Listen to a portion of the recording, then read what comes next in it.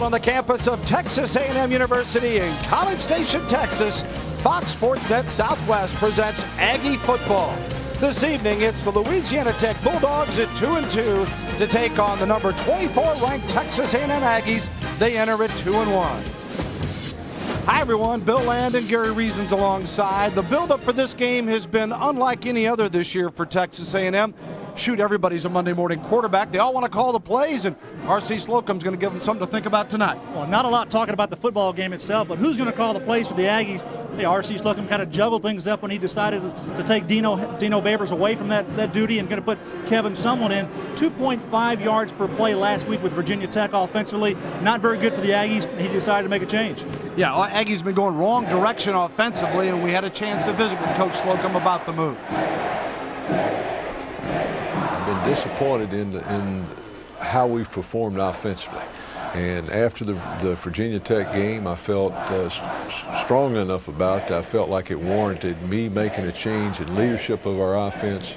I wanted uh, a change in the play calling on game day, and uh, I made a change this week. I moved Kevin Sumlin, who has been the assistant head coach. I gave him, and he coaches the receivers, I gave him the additional responsibility to lead the overall offense in terms of game plan and to make the calls on game day. One other thing about the offense, the Aggies are certainly committed to youth when it comes to the quarterback position as Dustin Long will get the start, but there'll be two playing tonight. Well, they really will. They've decided to go with potential over experience. Mark Farris, a senior quarterback, will not be playing. Dustin Long's going to need a second start of the season. Actually, not very good last week against Virginia Tech. Reggie McNeal, he'll come in as well, play. He's the, he's the freshman that is not tested, but a lot of, a lot of potential there. So we'll see both those quarterbacks tonight for the Aggies. Louisiana Tech will not be intimidated here. They last week played at Penn State. They've got a win over Oklahoma State earlier this year. They throw it a bunch, 49 times a game. But Luke McCown is not their only weapon. They've also got a pretty good running game. Jack Bicknell likes his offense. They average over 400 yards passing per game. Pretty impressive. Luke McCown, fifth of the nation total passing. And when you got a running back in Joe Smith, who's giving you 91 yards on the ground in a passing attack, that's pretty impressive. The Aggies may have their hands full. Well, the Aggies defense has certainly been superb in the first three games this year. Their secondary will get a different test, though, tonight. Well, the secondary has to play well. They're going to have to move around. I think the secondary has to play well, especially with the safeties. Terrence Kiel, the strong safety, is a big hitter. He's a senior. Jaxson Appel, just a redshirt freshman, but he has shown with the first couple of games this year, Bill, that he is capable of making some big plays. He has a knack for the football. All right, that usually means if the secondary is having some fun, the folks up front are getting some push on the quarterback. And Jim Knox, the third member of our broadcast team, has more. Okay, thanks a lot. But I'll tell you what, this Aggie Wrecking Crew defense right behind me, they are ready to go, and they will definitely be put to the test tonight. In order for them to be successful going against that high-flying passing attack Louisiana Tech, it starts right up there on the defensive line. And we're talking about senior left defensive end, Ty week. What a heck of a ball game against Virginia Tech. 13 tackles, one block field goal. Key reason why he was named the Big 12 Defensive Player of the Week. Ty Warren said before the game he is ready to go. So is his Aggie Wrecking Crew defense. This is going to be fun to watch, guys. Bill? Thank you, Jim. La Tech at 2 and 2. The Texas A&M Aggies finish up the non-conference slate. It's coming straight ahead.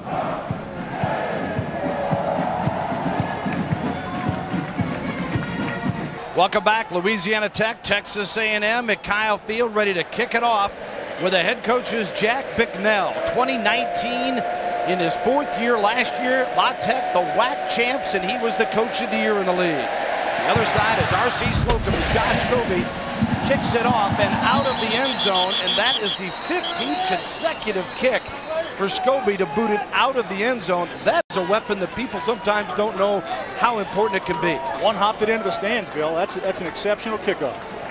And there is R.C. Slocum in his 14th year, and last week's loss to Virginia Tech, the first in his tenure that a non-conference opponent has won here at Kyle Field.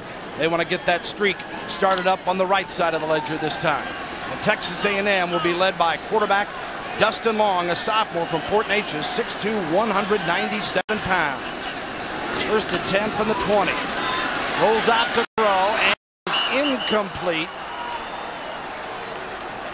Let's take a look at the Texas A&M offense. As we mentioned, Long getting his second start 43% completion rate. The three interceptions have been a bit of a problem. They count on Yates and Whitley, the guards, the veterans, to really anchor this group. Farmer needs to run it a little bit better. Taylor's become a heck of a receiver, and Johnson nursing a thigh injury. We'll take a look at the defense of Louisiana Tech in just a moment. Second and 10 at the 20.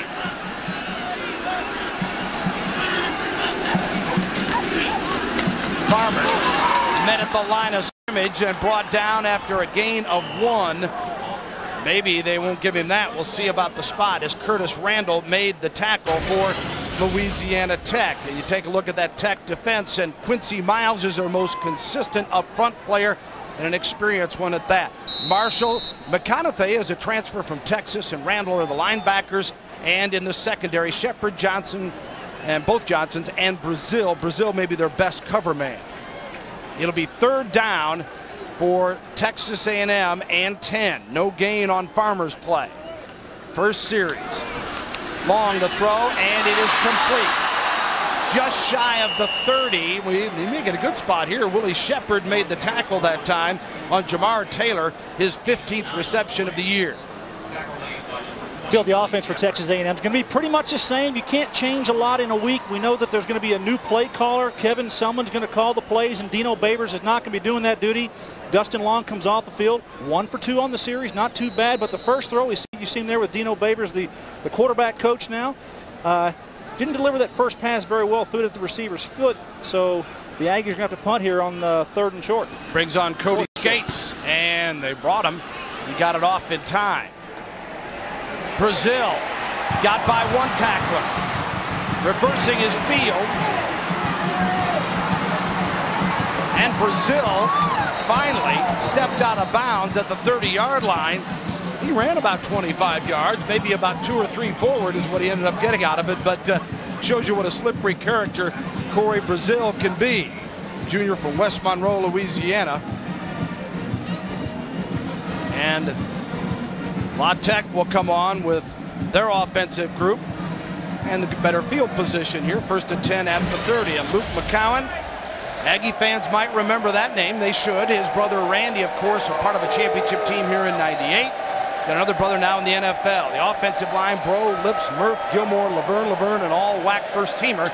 Smith, not only their leading rusher, but their second leading pass receiver in the backfield. And on first down, Smith is stopped by the Wrecking Crew defense right at the line of scrimmage. It'll be second and 10. Ty Warren leading the way. And Jim commented about him before the game in that three-man front for Texas A&M. Last week, five tackles for loss for Warren in the Tech game. Jasmine and Smith join him up front. And the linebackers, Honeycutt with an injury. I don't know how much we'll see of him tonight. Gamble is a leader, and Appel and Kiel we talked about a moment ago, Davis is an All-American candidate in the secondary.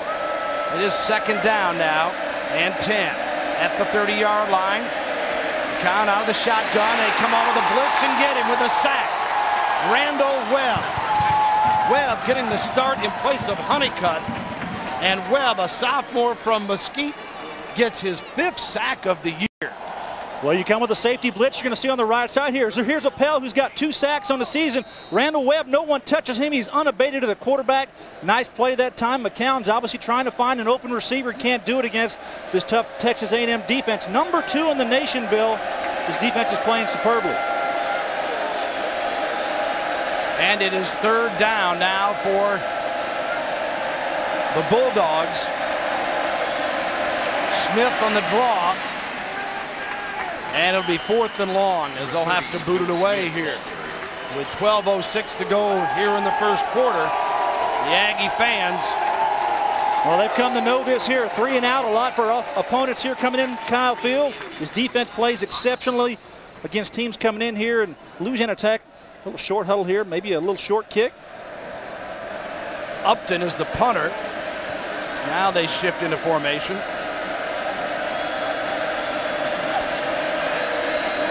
and Texas A&M with Byron Jones, the deep man. Jones fumbled the football, but then fell right on it. And it'll be Aggie football. So the exchange of possessions in Texas A&M gets it about the 33 yard line. We'll take a brief timeout. We'll be right back after that 41 yard punt. No score in College Station. Come back. Here's where Texas A&M excels. The Wrecking Crew defense has La Tech on its own one-yard line. First and 10. Smith looking for out of crease, found a yard or two before he's run back into the end zone. He's going to be given credit for three yards, though. The ball will be marked at the four. A host of tacklers there to greet him. Appel, Jaxson Appel, among them, the free safety. This guy, a redshirt freshman that Aggie fans just love. Well, Joe Smith obviously is a pretty good tailback in his own right. In this passing game that the Louisiana Tech Bulldogs have, Joe Smith averages 91 8.8 yards a game. Now, Texas A&M hasn't given 100 yards to a rusher in 16 straight games. And that's pretty impressive. Don't know that he'll get that tonight because this wrecking crew defense has come to play. Yeah, you got to go back to 2000 and Reggie White of Oklahoma State, the last to get over the 100-yard mark against this wrecking crew defense. McCown on second down and seven. Almost intercepted. In and out of the hands of Brian Gamble. Gamble had six on his mind. The senior linebacker does a nice job of coverage there, just rolling with the quarterback. You're going to see Brian Gamble here. He's going to work back and come across as Luke McCown comes outside of the pocket. And he's going to take the tight end inside, and he breaks underneath where he does, where he needs to, and watch both hands get on the ball. And Brian, you had a touchdown, my man, and didn't get there. You see Luke McCown's ability getting out of the pocket as he throws the ball, but really not a good decision to throw it back there. Third and seven. All the Aggie fans up here with La Tech backed up on its own four-yard line. McCown from the end zone. Dumps it off to Smith, and he is upended back at the four. Great tackle by Sammy Davis, the senior from Humboldt, Texas, and now Louisiana Tech and Josh Scobee, whether Dustin Upton will have to punt it out of their end zone. Well, this is what R.C. Slocum wants. Put your your defense down there. They're going to do a good job. Three downs. Force Josh McCown to make a bad throw. He did on the last play, and now they sniff out the screen, and Sammy Davis does a good job of coming up and up in, and Joe Smith. They're going to be punting from the back of their end zone.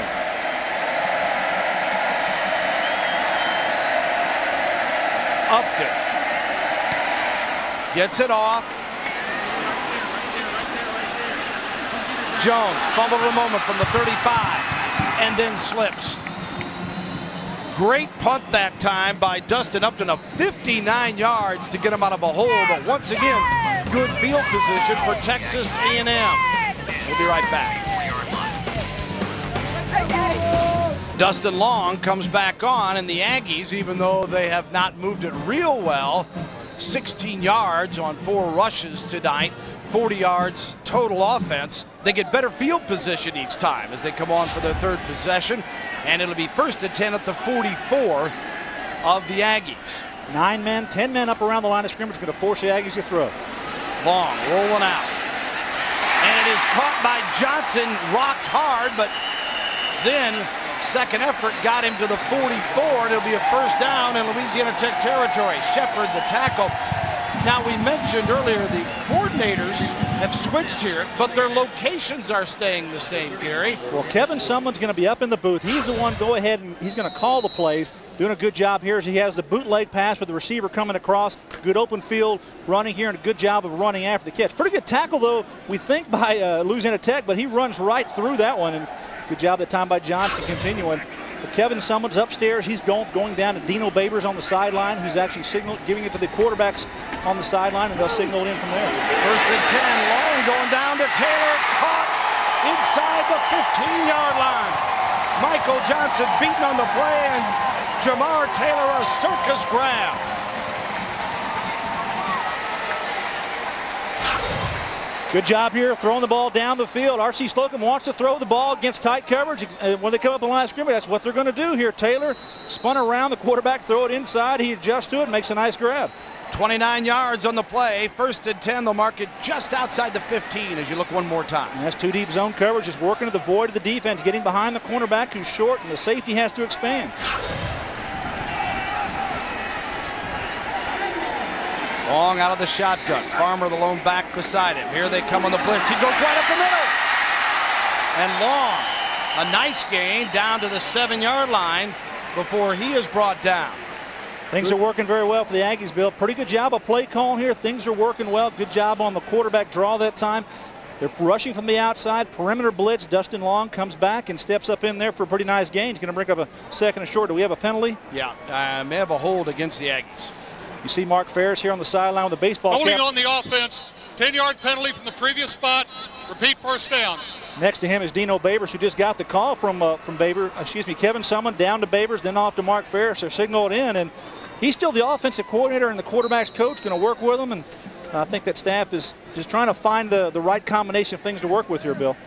Yeah, and he has been on the sideline in the past, and someone has been upstairs. So, like you mentioned, the transmission to getting the play in may take just a little bit longer, but someone is making the calls. First and 20 now.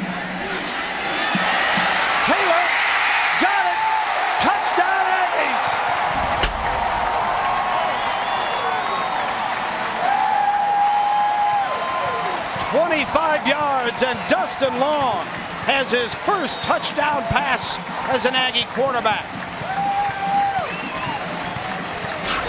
Well, when you want your offense to execute, this is what you need to do. Play action pass. Dustin Long does a it's two deep zone coverage. Jamar Taylor is outside. He works up on the safety, does two moves on him, gets him working inside, and goes out for the score. Good job, good execution grabbing the football. And the point after by Pegram is good. Todd Pegram, the freshman from Plano, hits the PAT, and the Aggies a touchdown and a reason to celebrate in light of what's been going on recently. Well, this is just great execution. You got good blocking up front. Everything is working well. Play action pass.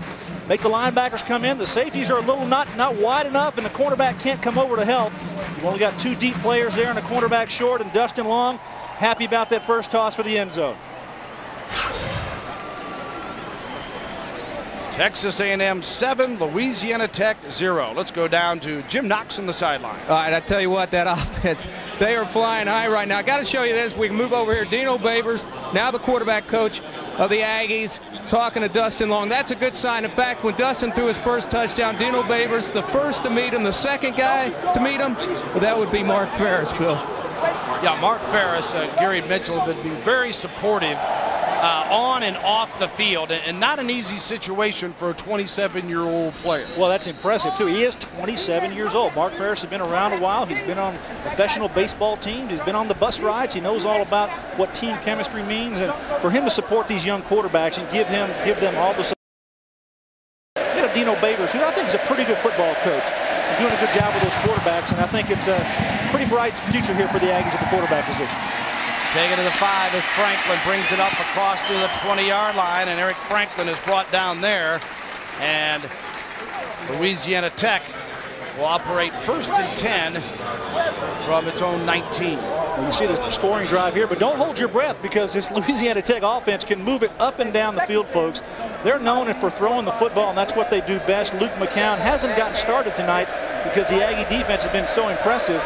But expect him to move around out of the pocket and throw the football and try to get something going against a tough Aggie defense. First and 10 Bulldogs. Smith, the lone back behind McCown. Play action. McCown being chased by Warren, slipped by him for a couple of yards before he dives out of bounds.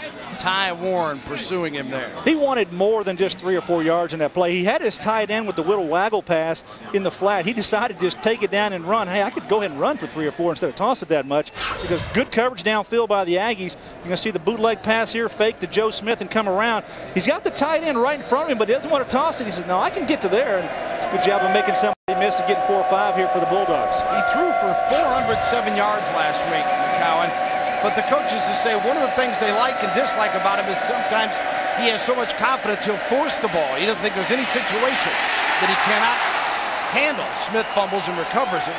But here's an example where I think they were glad to see him tuck it and run, see what you get, Gary. Be patient tonight. Well, not don't do anything stupid. Don't throw it up. Actually, the play that was out of the end zone on the last series where he threw the ball and the linebacker Gamble almost made the interception.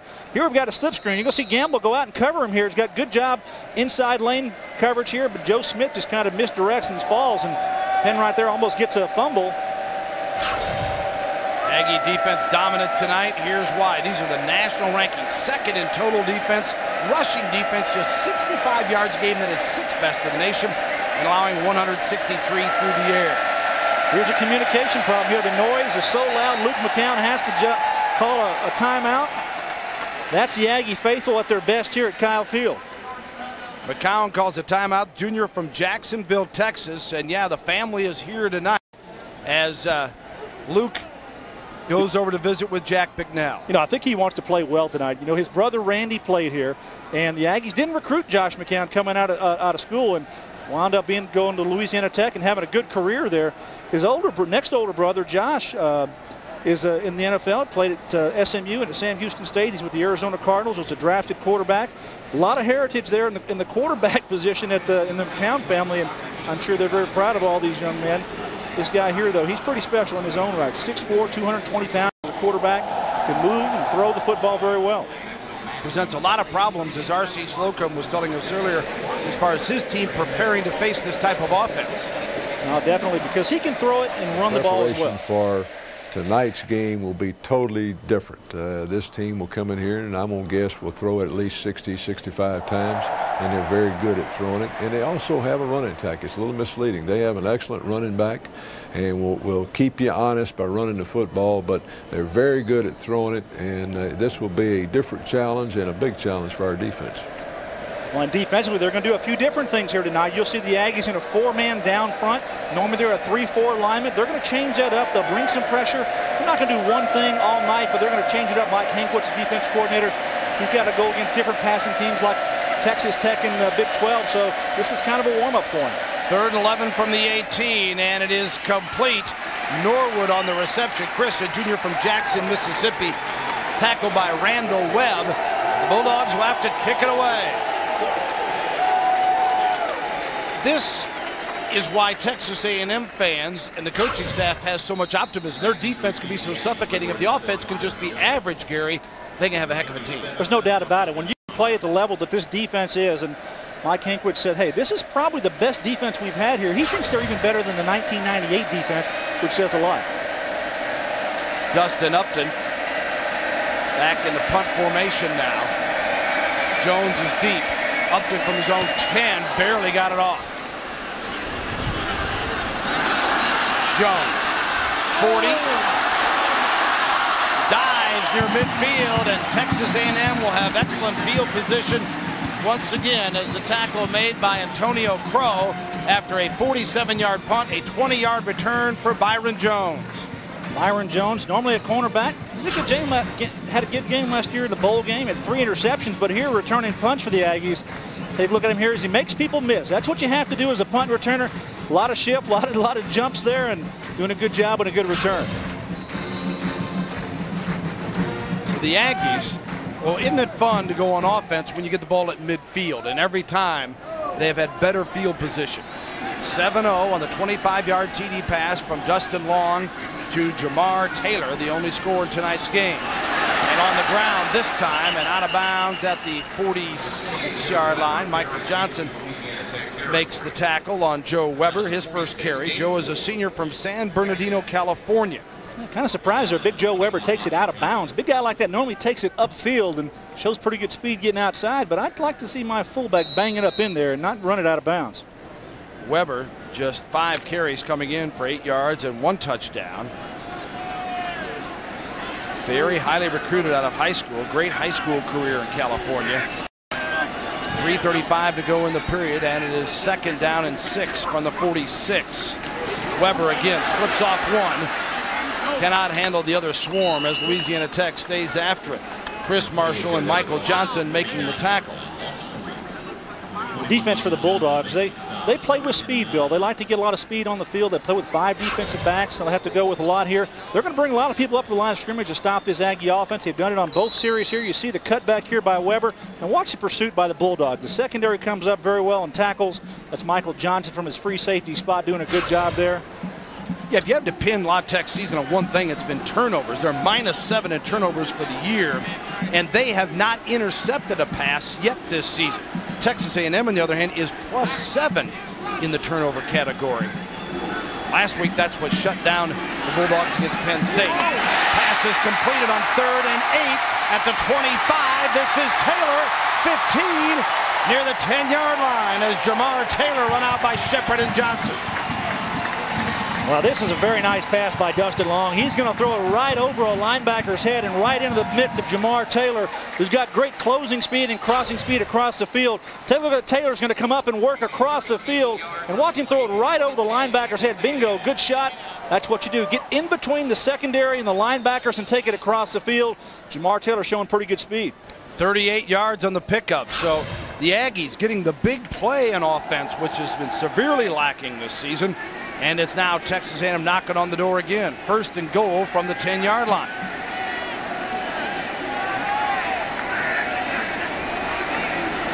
Two-back set long on the look-in is incomplete, intended for Terrence Thomas. Shepard was covering. Well, Bill, you know, I've, you talked about the big plays and what they've been going against is primarily zone coverage. The, the choice of the defense by Louisiana Tech is playing zone coverage. Here's a little man coverage short in the red area. You see Dustin Long's pass just a little bit high and out of the reach there of Terrence Thomas. Thomas, three receptions on the year, is long. Comes back to the line for second down and goal. Long tonight, 7 of 10 for 128 yards. Had the hot hand with a touchdown here in the first quarter.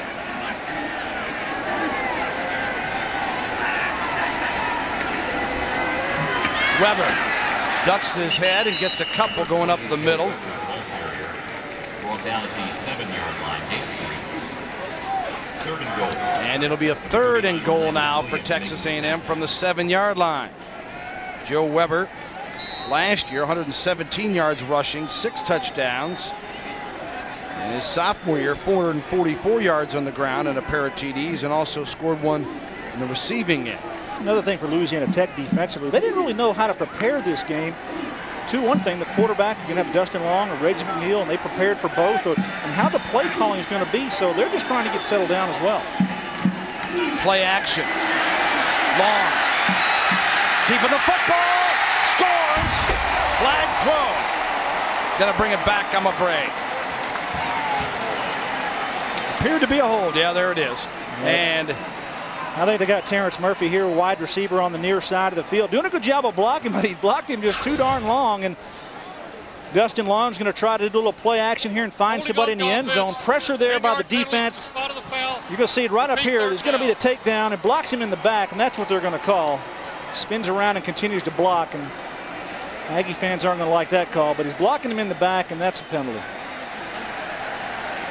So Dustin Long, who threw his first touchdown pass of his Aggie career earlier, is denied his first rushing touchdown. See a little bit of a forlorn look on his face there. You know, though, if you're going to throw the football, being out of the 15-yard line, it's probably a little bit of an easier pass. You have more choices in your offensive system that you can go with here, so maybe the Aggies have a better chance of throwing it in the end zone from, uh, from the 15-yard line. Third and goal from the 15. Long Looking for Porter. Covered on the play by Lee Johnson, a sophomore from Louisville, Texas. I like Porter. I like his routes. He does a good job getting up on the safeties and gets separation. When you can get separation from the safeties, that's when you're going to be able to catch some footballs. Porter's going to be the tight end or in the slot on the left side of the field. Watch him work inside and get away from the safety. Not a lot of speed, but he knows where he's going, and the ball was on target. I'm sure he'd make that grab. Shows the ways of a veteran, and that means Pegram will come on for the field goal attempt. He's set up at the 22 for a 32-yarder. And it's good. So Texas A&M gets the field goal from Pegram, 32 yards, and the Aggies make it a 10-0 football game. Pegram now three of seven in the field goal category on the year. A Whole lot of kissing going on in these stands, Bill. Long time tradition here at Texas A&M. And the color analyst that you are, knew you'd notice the small details. Well, you know, right, right in front of me here, there, there's some cuties down there, and they're just uh, give them a little sugar. It's more than what's happening on the field here at College State. It is tradition here. And the atmosphere is just absolutely incredible. Well, what, what, what, do you think about this guy, RC? Is he, is he happy about the play call tonight, the production of the offense? I think so far you've got to be pleased with the offensive production here. Dustin Long's throwing the ball well. Seven completions out of 11 attempts, 128 yards, the touchdown score. not really running the ball a lot, just effectively getting enough done. And now obviously the defense for the for the Aggies just playing superb. And the kicking game, punt the ball down there, make them go to a long field. Everything's working well for Texas A&M. There's the drive that didn't take long to get the three on the board.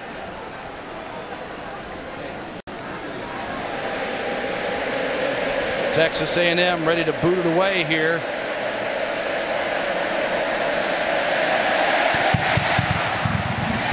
Skates on the kickoff. And the tackle is made at the 25 yard line that time as we send it down to Jim Knox on the sideline. Okay, actually, I'm in the stands now, Bill, because, you know, so many years on the other side of Kyle Field, we've seen the McCowns, Pat, Robin, sit over there watching Randy McCown. But, of course, Luke now quarterbacks Louisiana Tech. Robin and Pat, this is an unusual place to be. It feels different over here. It's a different viewpoint, but we're glad to be here. Now, Pat, you look at Luke going against this defense. If I had to pick one defense in the nation not to go against, I think it'd be the Wrecking Crew. Haven't had too much luck so far. Amy, you're supposed to be pom-pomming tonight for Louisiana Tech. Uh, you're taking the night off to watch little brother? Well, yes, sir. The other squad drew for this game, so we go next weekend. Okay, well, you guys, uh, I can say, I hope you enjoy the game, but uh, we'll see what happens at the end. Thank you, Bill. All right, Jim, stay up there for La Tech's hope as DJ Curry, the receiver. All we need is put Jim in the La Tech stance. And must have a heck of a T-shirt drawer. Got a bunch of colors in here to choose from: red and and, uh, and blue, and you, you, pick it. Orange, obviously, Sam Houston State last year. It's really got to be unusual for the McCowns, though, to come here and be sitting among the minority right now. As La Tech, good movement on that last play, though, for 18 yards and a first down to the 44. Smith finds a hole. Nice job by the offensive line and pulls his way across the 50 near the 49 of Texas A&M before Gerard Penwright made the tackle. Well, that's what's impressive about Joe Smith. He's he's a pretty good runner, but I think between the tackles, he goes north and south. Watch him keep his pad level low. You give him a little hole and he gets through there well, makes one guy miss in the backfield and just keeps going, getting behind the big offensive lineman. And, hey, before you know it, he's got seven or eight yards, and that's what he got on that first play. Well, and one thing about Louisiana Tech, down 10 nothing, as explosive as they can be, this team is not going to panic in this situation.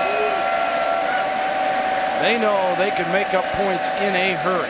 Second and three from the 49. McCown got plenty of time and incomplete, nearly picked off. Off the hands of Curry. Jones was there. Penwright also near the play. Actually, it was a pretty good play by the Bulldogs. Offensively, they blocked, and McCown does a good job of stepping up. Curry's in the slot, working inside, going to find a little opening there and settle down. McCown's going to deliver the ball. He just misses it, just doesn't make the catch. Aggies almost got lucky here with a tip and uh, an interception. Brian Jones trying to give him another. DJ Curry comes in their leading receiver, 18 grabs, and I'm sure he'd be the first to tell you should have had that 11 catches last week against Penn State. Impressive for that young man. So it makes it a third and three for the Bulldogs down 10 nothing here. With six seconds to go in the period, could be the last play of the quarter. Out of the backfield, and it's complete near the 41-yard line. For Moats has run out of bounds. Now they got what they wanted, a matchup. Moats of running back out of the backfield on a linebacker. McCown does a good job of rolling outside or throwing the ball outside, and they got the speed mismatch and got the first down. So Moats on the reception, and that ends the first quarter here in Aggieland. Texas A&M with a 10-0 lead. Back for the second period in a moment. Welcome back to Texas A&M as Reveille and the Corps enjoying it so far with the Aggies a first period lead of 10 nothing.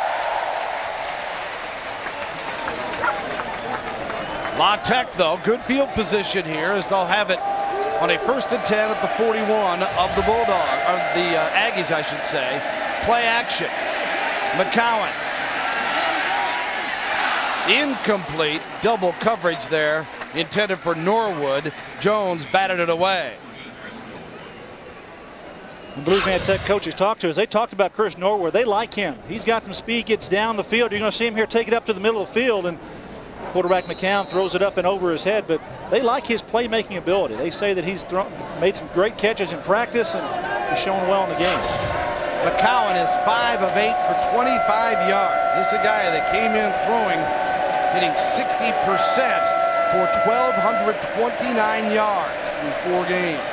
Slips and falls here, gets up and being thrown back down by Jasmine. Marcus Jasmine well, you credit Jared Penright on the initial rush. He comes from the outside. He's the outside. He's a linebacker, and he's going to come out here and get pressure on the quarterback and force Luke McCown to get up into the pocket. Almost falls down here. Watch Jared on the outside. Almost gets him and makes him turn up, and then going to have a pretty good job there from the inside coming out. Marcus Jasmine giving the sack. 6'4", 317-pound sophomore, the biggest player on the defensive side, and playing to his size this time out of New Orleans, and it is now a third and 14 from the 45. McCown out of the shotgun. Great catch and complete at the 25-yard line. Yeah, there's a flag, though, Bill. Yep. The back judge threw it right in the middle of the field, and usually that's going to be coverage on the tight end, but I'm not really sure what they're throwing it here. DJ Curry, the receiver on the play. Pass interference on the offense. That's a 15-yard penalty. Repeat third down. That's how you get open sometimes. DJ Curry that's going to be on the right side of your screen. DJ Curry, number seven's in the slot. He's going to push off the linebacker here and work to the middle of the field. And I think it was just before that on the play, and the back judge throws it right where he came from. So, well, you can tell one thing. You see how the guy can make a play in traffic and take a hit. Now he went up. He went up high for that one. His numbers here for the season. Pretty productive. Like I said last week, 11 receptions at Penn State. That's that's that's impressive. But third and 29 now, and the ball pushed back into Louisiana Tech territory at the 40-yard line.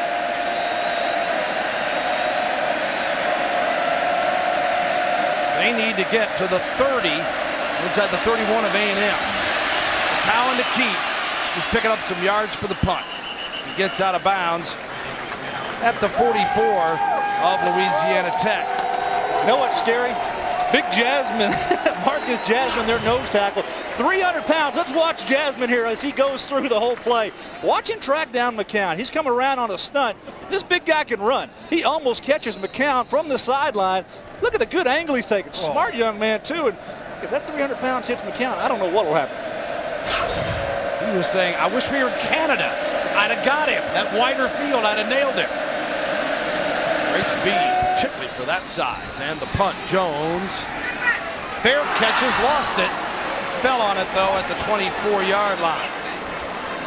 We'll take a brief timeout. Stay with us. The Aggies of Texas A&M with a 10-0 lead and 13-22 to go in the half.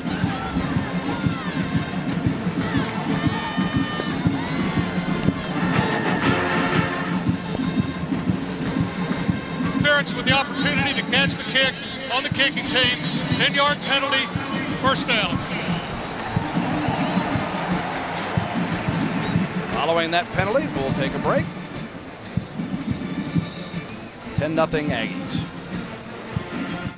Jack Bicknell talking to the official and got a feeling I know what he's talking about, Gary. Not happy about that halo rule violation. This is a rule that I think needs to be reevaluated and thrown out of college football. Fair catcher, watch a young man come in, he stops, backs up. There's no one there within two yards of that young man, and yet they throw a penalty and didn't really make a big deal here. It's five-yard penalty on the play, but obviously something that if you made a big play, they'd have to give it back to him. Long comes out throwing, and it's complete across the 40 to the 45-yard line as Keith Joseph, the receiver, Randall and Johnson, Lee Johnson in on the tackle. Keith Joseph, his second reception of the season. Yeah, just leak your fullback out into the flat on the play action here. Boot pass, toss it to him quick. You got your tight end coming up on the second level. Know what accounts for Joseph out of the backfield, makes a nice grab, and Long throws it in there. And Long is now for the night 8 of 12, 137 yards and a touchdown. Long coming in 3 of 12 for 45 against Louisiana Lafayette, 9 of 18 for 119 against Pitt, and then 111 against Vatech last week. The handoff here, nothing doing for Derek Farmer on the first and 10. Or the third one. They got nine on that other pickup. And now Jamel Cage making the tackle on that play. 12-20 accounting here in the first half. Texas A&M Third down and four to go from the 41. I think they've got to be very pleased with Dustin Long and throwing the football. I like what they're doing with him, though, Bill. Not making him stay in the pocket and throw the ball. They're rolling him out, rolling him out, giving him a chance to look down the field, and he throws the ball pretty well on the move. Give you a couple of scores to chew on here in just a moment. It is third and fourth, the 41 for the Aggies. Long. Complete to Johnson, slipped away and then knocked out of bounds, but a first down, Texas A&M at the 44. Let's see where they mark the football. No doubt about the first down, though, as Bethel Johnson on the reception, Marshall and Wisham making the stop. Well, a question about his thigh bruise, I think that answers it right here. Watch him catch the ball and explode after the catch and the speed. He outruns the secondary, boom, gets a second burst and gets around the corner. A little more room there, and Bethel Johnson may take that down to the house.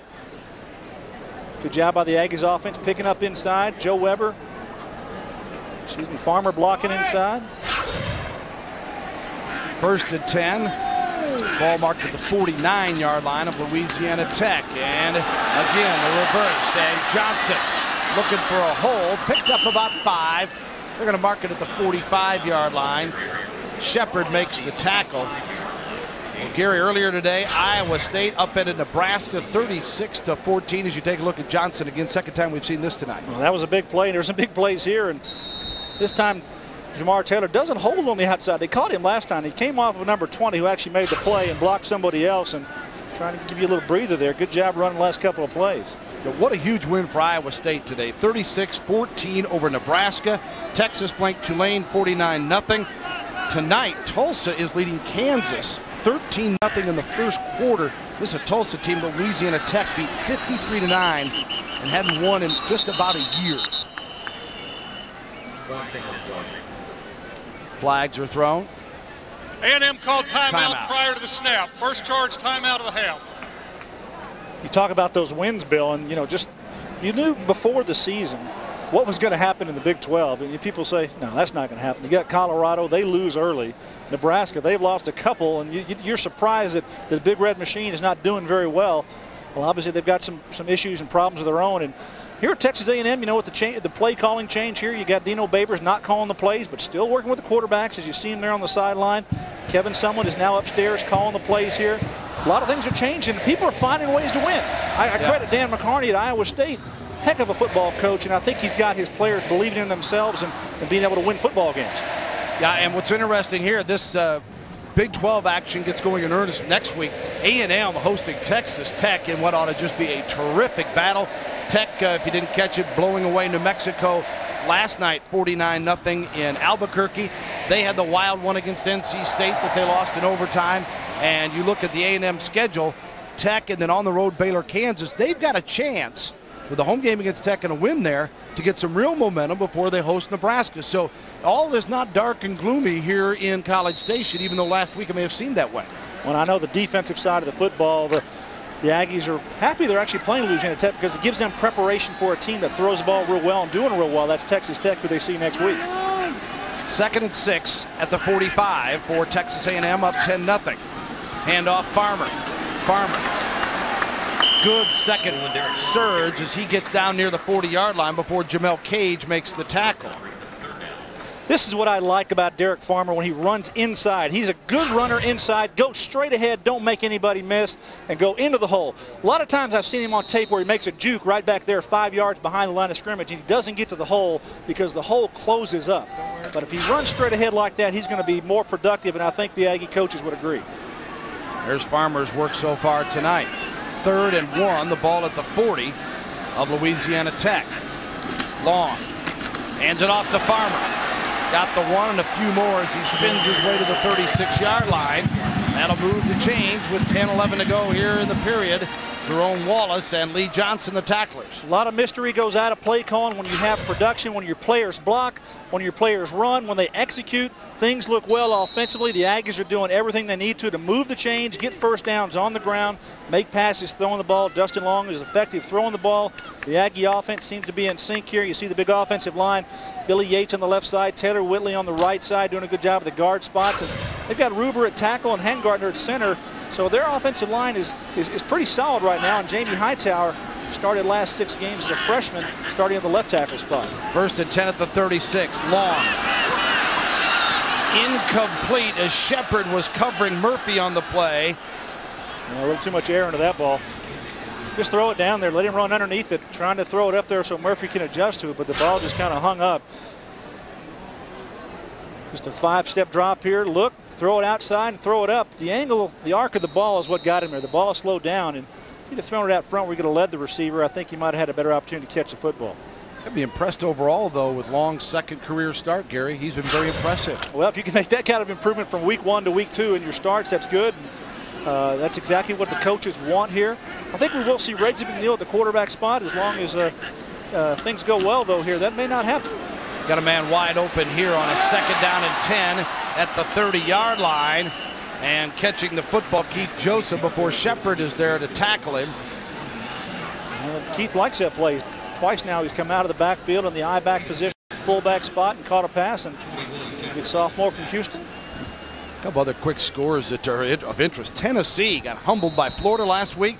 Vols are losing to Rutgers 14-7. That one's uh, early second quarter. And earlier today, Penn State loses in overtime at home to Iowa, 42-35, and a wild one where the Lions came back to get it the extra session and then couldn't finish off the Hawkeyes. Right here, it is third and three from the 24, and the look-in is knocked away. No flag intended on the play for Murphy. And Brazil was covered. Corey Brazil from West Monroe, Louisiana. Well, this is something that a quarterback has to do. Dustin Long comes to the line of scrimmage, and he reads that they're going to blitz. And so he checks to the outside. He's got one-on-one -on -one coverage there. You see it. You see the mark there. He knows he's going to read it. You got the blitz coming from the outside here, and he releases the timing. Just good job there by the defender of making the play. Otherwise, it might be a big play for the Aggies. Well, that's what Dustin Long has to do as a quarterback to mature and make the right decision when he gets a line of scrimmage. That'll bring Pegram on for the field goal attempt as they're going to set up here for a 46-yarder. One earlier from 32. This one is long enough, but off the mark, and it will stay at 10-0 on the missed attempt by Todd Pegram. 8.47 to go, 10-0 Texas A&M. We'll be back.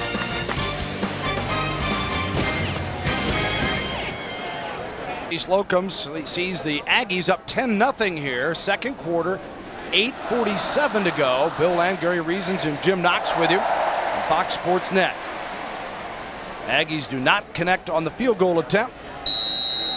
And as a result, the ball comes out to the line of scrimmage. It'll be first and 10 at the 29 for the La Tech Bulldogs.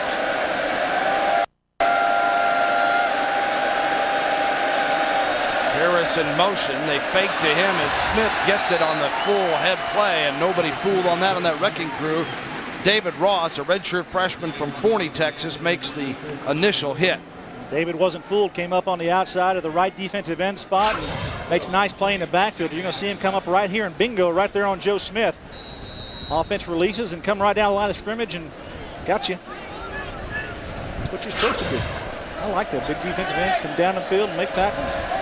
Well, Texas A&M has held Louisiana Tech to just 33 yards of offense here midway through the second period. Second and 11. McCown out the shotgun. The quick release to Norwood dropped the football. Incomplete. Yeah, smart quarterback, though. You see McCown, he knows he's got corner blitz coming from that side. You see the corner sneaking in. Okay, no problem. I just throw it right over your head and deliver it to my receiver. Unfortunately, the throw was good, reception poor. McCown's going to see the blitz to his right side. One, two, three, throw it right over. You see the Aggie jumping and just did not make the grab.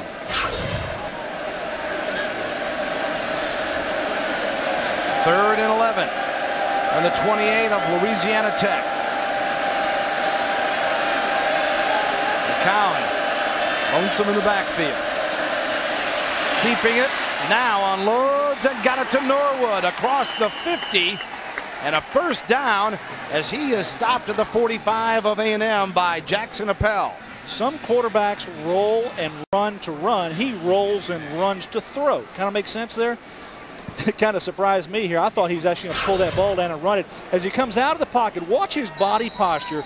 McCown, he's going to come up. He got pressure here from the outside. He steps up in. He tucks the ball like he's going to run and wait for the Aggie to come forward and throws it behind him. Good job in executing. Yeah, he really sold that well.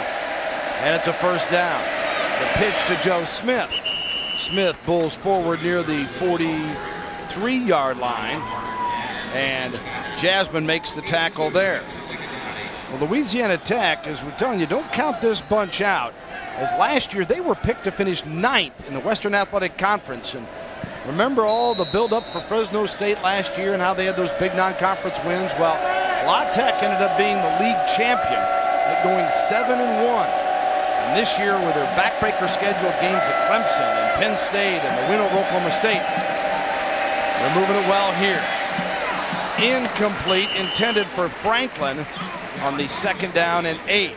Yeah, Aggies going rushing three rushers, two linebackers, and six defensive backs behind them. Selling out for the coverage here, thinking their three defensive linemen can get enough pressure on the quarterback. They're rolling a lot of people in the defensive front here for the Aggies, Bill. They want to put a lot of pressure on this quarterback. I know from previous defensive experience, when you rush the quarterback, it's a tiring effort, and so they want to keep fresh people in there, and that's what the Aggies are doing.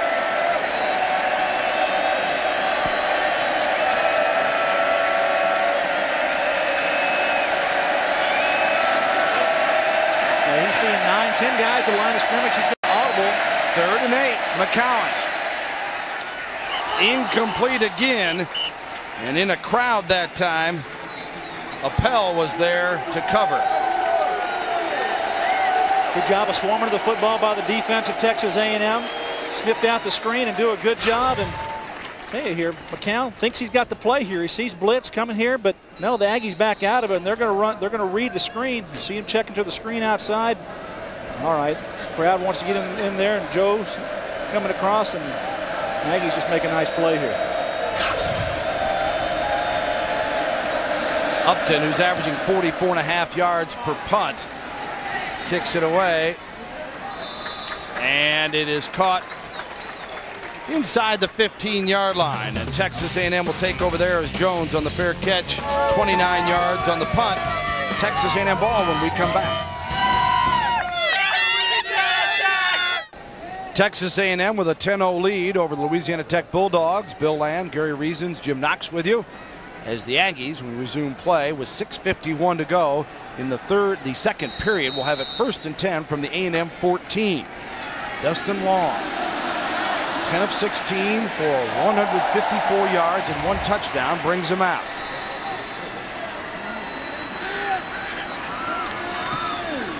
Weber looking for a hole. Good pursuit that time defensively. Marshall McConaughey there for Louisiana Tech, and Joe Weber is brought to a halt. McConaughey, the senior middle linebacker, doing a good job of scraping the outside, making a nice tackle on Weber.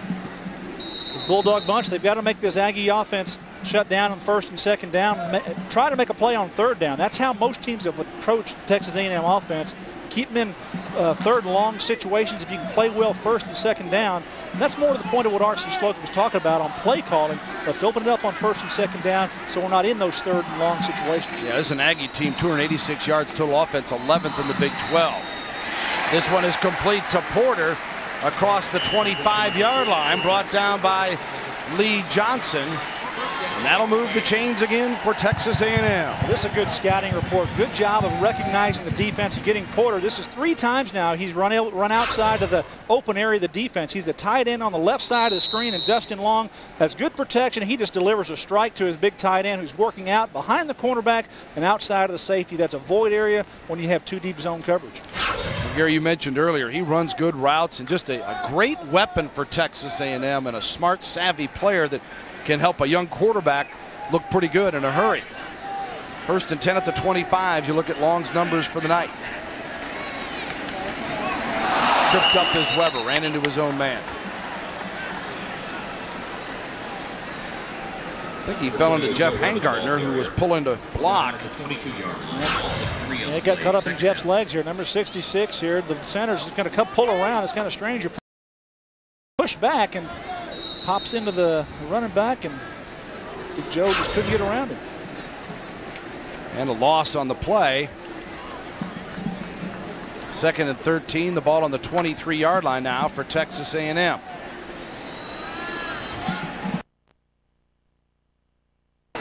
once they do that, that's kind of a, a given that you're going to get an offside penalty on the defense. This is something that teams practice, Bill.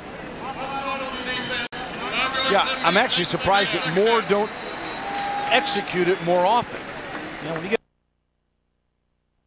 here, and that's something you've got to make automatic in your offense. If you can steal five yards, do it. Well, big difference here for A&M. Second and eight instead of 13. And the ball at the 27-yard line now for Texas A&M. The draw play. Weber nearly blew over the official and then rolls to the 45-yard line and more. First down, Aggies. Weber picks up 18 on the carry. If you're going to run the draw play, this is how you need to block. Everyone is going to commit to the right side. Watch everyone on the defense comes over to this side, and Joe Weber's going to read it out the back door. Watch what I'm talking about here. Weber sees daylight back here. That's where he's going to take. Got a great block on the outside. Number nine, Bethel Johnson, is just taking the cornerback out of the picture, and good job by Weber reading the open area and getting a big play for the Aggies. Aggies now first and 10 at their own 45. Play action, long. Lofts it. Complete at the 25-yard line.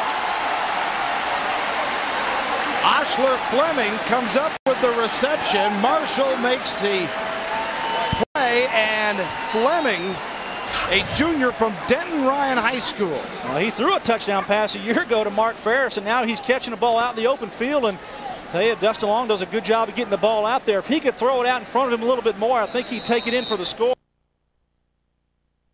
And sets the Aggies knocking on the door. First and 10 at the 25.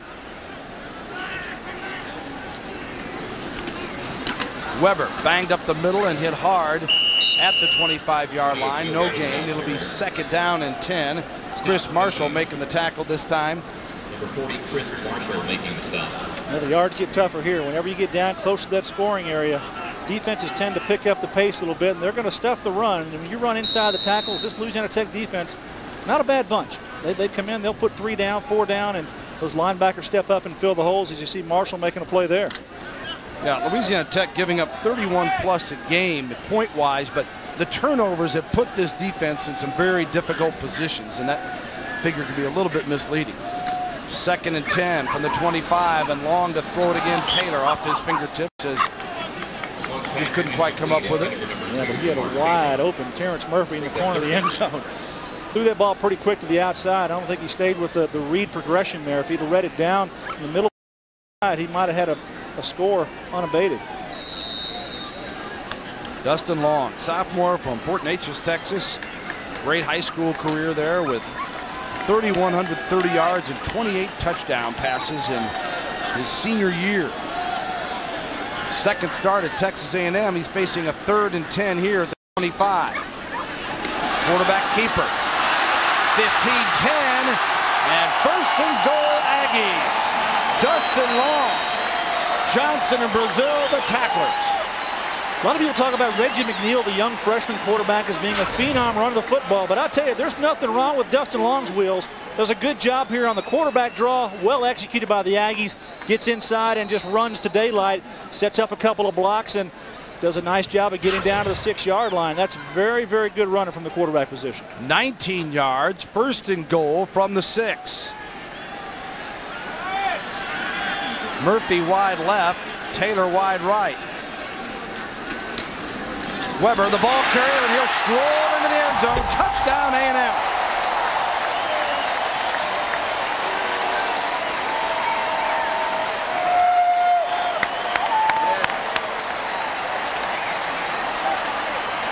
Joe Weber gets his second touchdown of the season on a six-yard run. Well, just close everybody down here the left side. Billy Yates just cleans house. Look at Big Billy, number 72, unabated. Weber walks into the end zone for the score. And now Pegram will come on for the point after.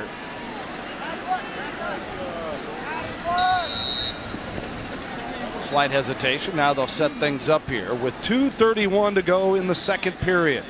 Texas A&M trying to make it 17 nothing. Snap good, kick good. It's Pegram.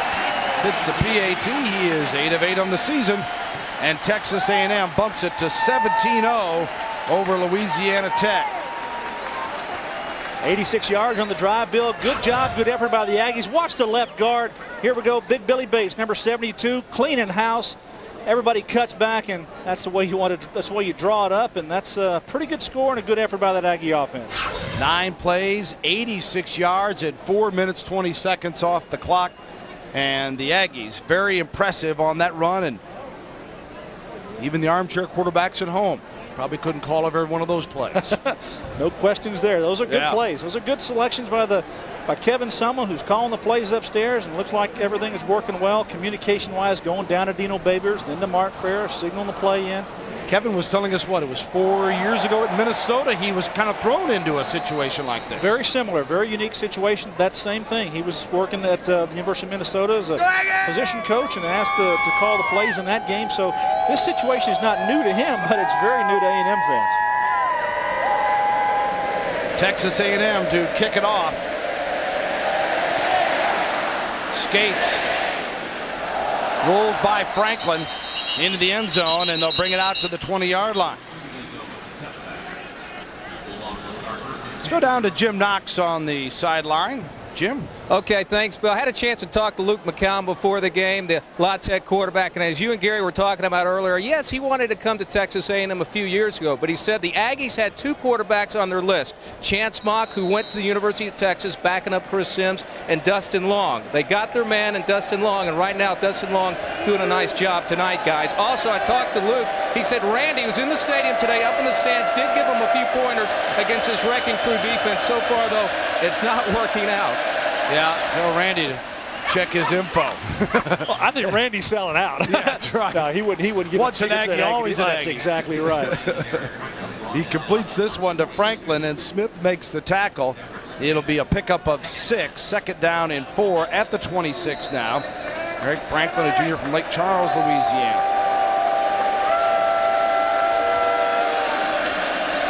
McCown to Curry. Scrambles out of bounds. Did he get the first down? Yeah. Just past the 30 yard line. Well, you see the no huddle offense here. This is a two-minute situation here for this Louisiana Tech offense. But really, they've been doing this kind of a, a play calling selection throughout the entire year, Bill. In their earlier games, they've gone no huddle. It allows, it doesn't allow the defense to make substitutions. You know, they're moving the ball here effectively. They haven't done this throughout the first half. Then they come back in the second half and try to run a lot more get back in this football game. Yeah, they need to do something to change up the tempo to try to do avert this uh, wrecking crew defense.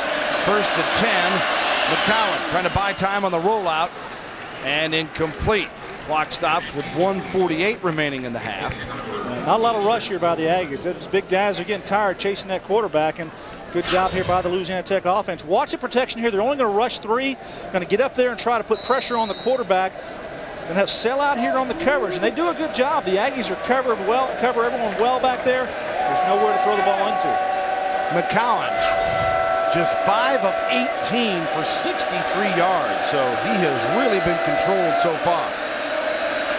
Second and 10, and Luke in trouble. Got bumped, got it off to Smith. 35, leans, needed to get to just past the 40.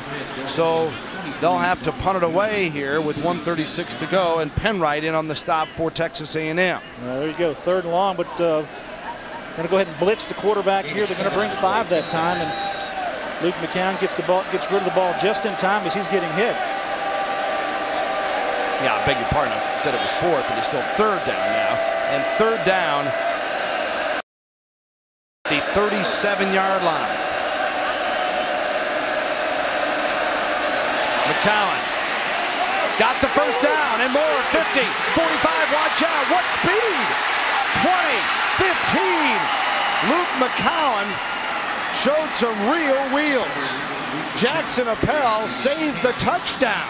I think it's Kiel that might have saved the touchdown. A big Kiel. safety. He tracked him down, but McCown, my goodness, 6'5", 220 pounds. Watch this, folks. Quarterback not necessarily known for his running ability, but he shreds his Texas A&M defense, goes right through the heart of it here, down the middle of the field, and McCown goes 53 yards down to the inside the Aggies 10-yard line. Good effort that time by Kiel, tracking him down and making a play. Just a shoestring here, otherwise he's going to go in to score. 53 yards on the play, and now first and goal, and a timeout is called. I, want, I wonder if Randy ever ran one in here like that. Oh, what, very impressive against a very fast defense. That is. That A&M defense is fast, and Mike Hankwitz talked about being one of the fastest defenses he's been around. And when you have a quarterback break into the open like that, he's thinking, hey, one of our guys is going to step up there and make a play. But they're all in coverage, Bill. That's the thing. They were in man coverage on that play. The safeties had come up and pressured so that he had the open field and took advantage of it and almost made a almost made a touchdown for the Bulldogs. Well, as you see Jack Bicknell with the ball cap and the headset there, he told us that they wanted McCown to run a little bit more, and they don't want to turn him into a runner, but he has made some decisions tonight that have taken him in the right direction. And that one, obviously, where he just tucked it under and took off. And they got to feel pretty good if they punch in a touchdown here to be within 10 at the half. He's a good athlete. Uh, yeah. You know, he is a you know, basketball player. He loves basketball. They call it, you know, his best, his favorite thing to do is go out there and dunk basketballs. He says he'll go one-on-one dunk contest with anybody. That's how confident he is in his ability. He's thrown for over 7,500 yards in his career. He's number three on the Louisiana Tech career list. And at that place, that's saying something. First and goal from the 10 for the Bulldogs. McCown out of the shotgun to throw it again. Incomplete intended for Curry. Trying to make a play to the outside. Curry's his big play man. Josh McCown trying to throw it out there. More about this man I'm really impressed with. And every week he, on his wrist, man, he, he writes a scripture. He's a very, very devout, religious individual and stays with his faith. And I think he brings that, echoes that, that commitment to his football team and a true leader out there for him, Bill. No putting this guy. 407 yards against Penn State, threw for 418 and three touchdowns in the win over Oklahoma State.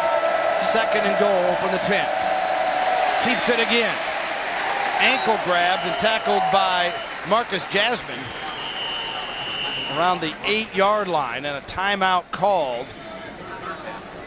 Marcus Jasmine has to change gears that time. Quarterback draw. You're gonna you're thinking rush, rush, rush here. They've thrown the slip screen with Joe Smith out there, motion out of the backfield a couple of times tonight. And you'll see Joe Smith moving out here. But watch Jasmine just going to tag up right here and wait for the quarterback. Go ahead and change gears, throw him away, get Murph out of the way, and make a good tackle on McCown. Otherwise, it might be a touchdown. Louisiana Tech with one timeout remaining here, Gary, and 36 seconds to go. So they still have the full gamut of plays offensively on a third and goal from the eight. Yeah, just running out of downs. They have to throw it into the end zone here for this one. They're going to kick a field goal. Texas A&M and that defense only allowing 10.7 per game, fifth in the nation. Beating Pittsburgh 14-12 and University of Louisiana Lafayette 31-7 in the opener. And last week fell to Virginia Tech 13-3 and only one big play given up for the Virginia Tech touchdown in that game.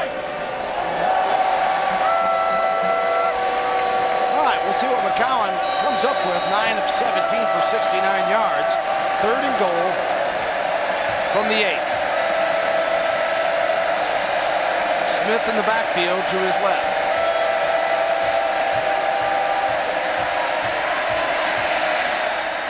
Incomplete. I believe it went right off the hands of Gamble, number 17, and then Byron Jones was covering on the receiver.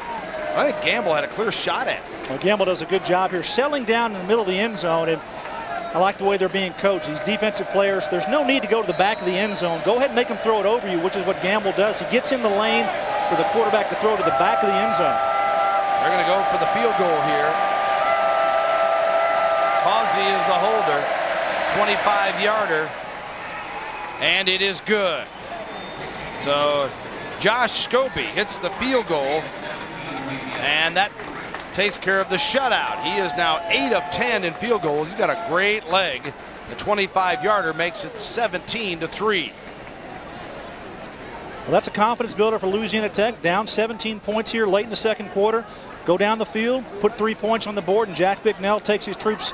Going to make a decision here of how to kick off, but obviously going to take his troops in there say, hey, guys, if we continue to play like that, move the ball effectively, we can put points on the board. Hey, he knows it's going to be tough to get in the end zone, but every now and then one of your good players is going to step up and make a play, and perhaps that'll happen.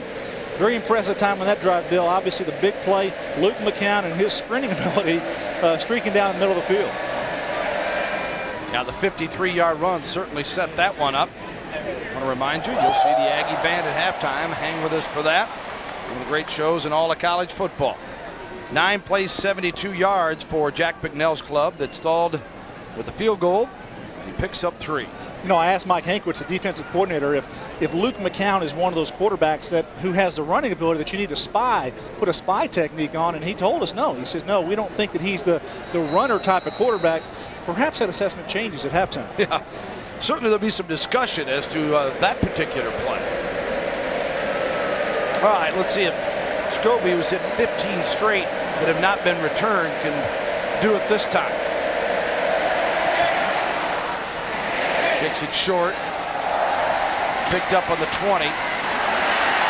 Reuber out to the 35 yard line as he leaned through the 36. And with 21 seconds remaining. I don't know why they make that kick like that. You've got a weapon, kick it out of the end zone, line them up at the 20. Now they're lined up at the 35. If A&M wants to do so, they can throw the ball down the field and perhaps get in scoring, at least field goal range here. And we'll know how RC is going to play it up 17 to 3. I would agree with you. A&M also has two timeouts remaining. Louisiana Tech with one. So we'll see what they come up with as Long brings them out. They're in a high backfield. I doubt they're going to throw the ball down the field unless it's play action pass.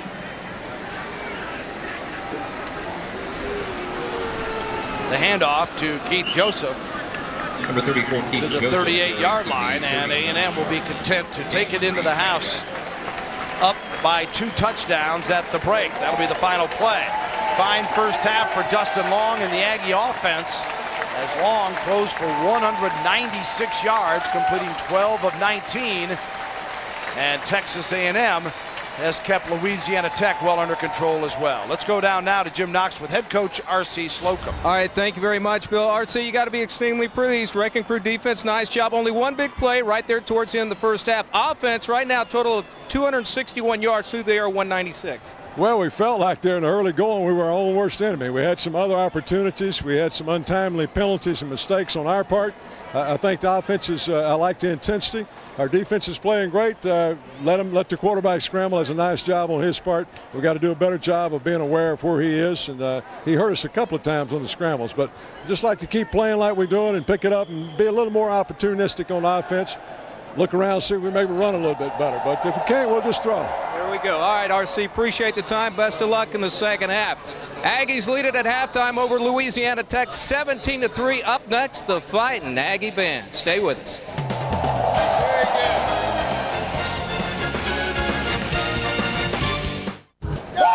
Welcome back to Texas A&M. Aggie fans not going anywhere, enjoying a halftime lead of 17 to 3. And let's take a look at the numbers inside the numbers as 268 has really got to please Texas A&M. They only averaged 286 for the game. That's amazing. 268 yards in the first half. This offense has come out to play, and they've executed very well, as I mentioned earlier. Good job there holding on to the football 16 minutes and third downs pretty good there A&M 50% Louisiana Tech needs to continue to do what they've done at the end of the second quarter stay in this football game. Luke McCown really held to not very effective passing the balls only completed uh, 9 of 18 for 69 yards of his own. So uh, just kind of a tough night for him. He's used to throwing the ball a lot more effectively and down the field more making more plays with their offense. So we're going to have to make some adjustments, come out and try to find something that'll work against a real potent Aggie defense. Well, and Gary, for Texas A&M, that nine-play, 86-yard TD drive that required 420 in the second quarter, season high for plays, yards, and time. And that's something that really has to please everybody in the offensive staff. Well, as you get closer to a conference play and bigger games, more important importantly is you want to be able to put your offense out there and establish that you can move the football. You can take the ball down the field and, and have a drive, and R.C. Slocum wants that for his football team. You can't roll your defense out there and expect them to go three downs and out every time. Although he's got a great one, and Mike Hankwitz runs that defense very well. He wants his offense to be productive, and I think he's got to be pleased with his offensive production so far tonight. Texas A&M to kick it off with Cody Skates, the junior from Tyler. Moats and Franklin are deep. Moats and Franklin tells him, stay right there, partner, and he does. And the touchback will make it first and 10 at the 20 for Texas or for Louisiana Tech here to start the second half. young and old Aggie fans here tonight and enjoying the performance so far as A&M ranked number 24 in the country and trying to get its third win. And let's see what McCown comes up with. 69 yards passing. Almost as much of that running, Bill. 53 Yeah. yards on the one scamper. And you got a fellow that's been averaging 309 yards per game passing.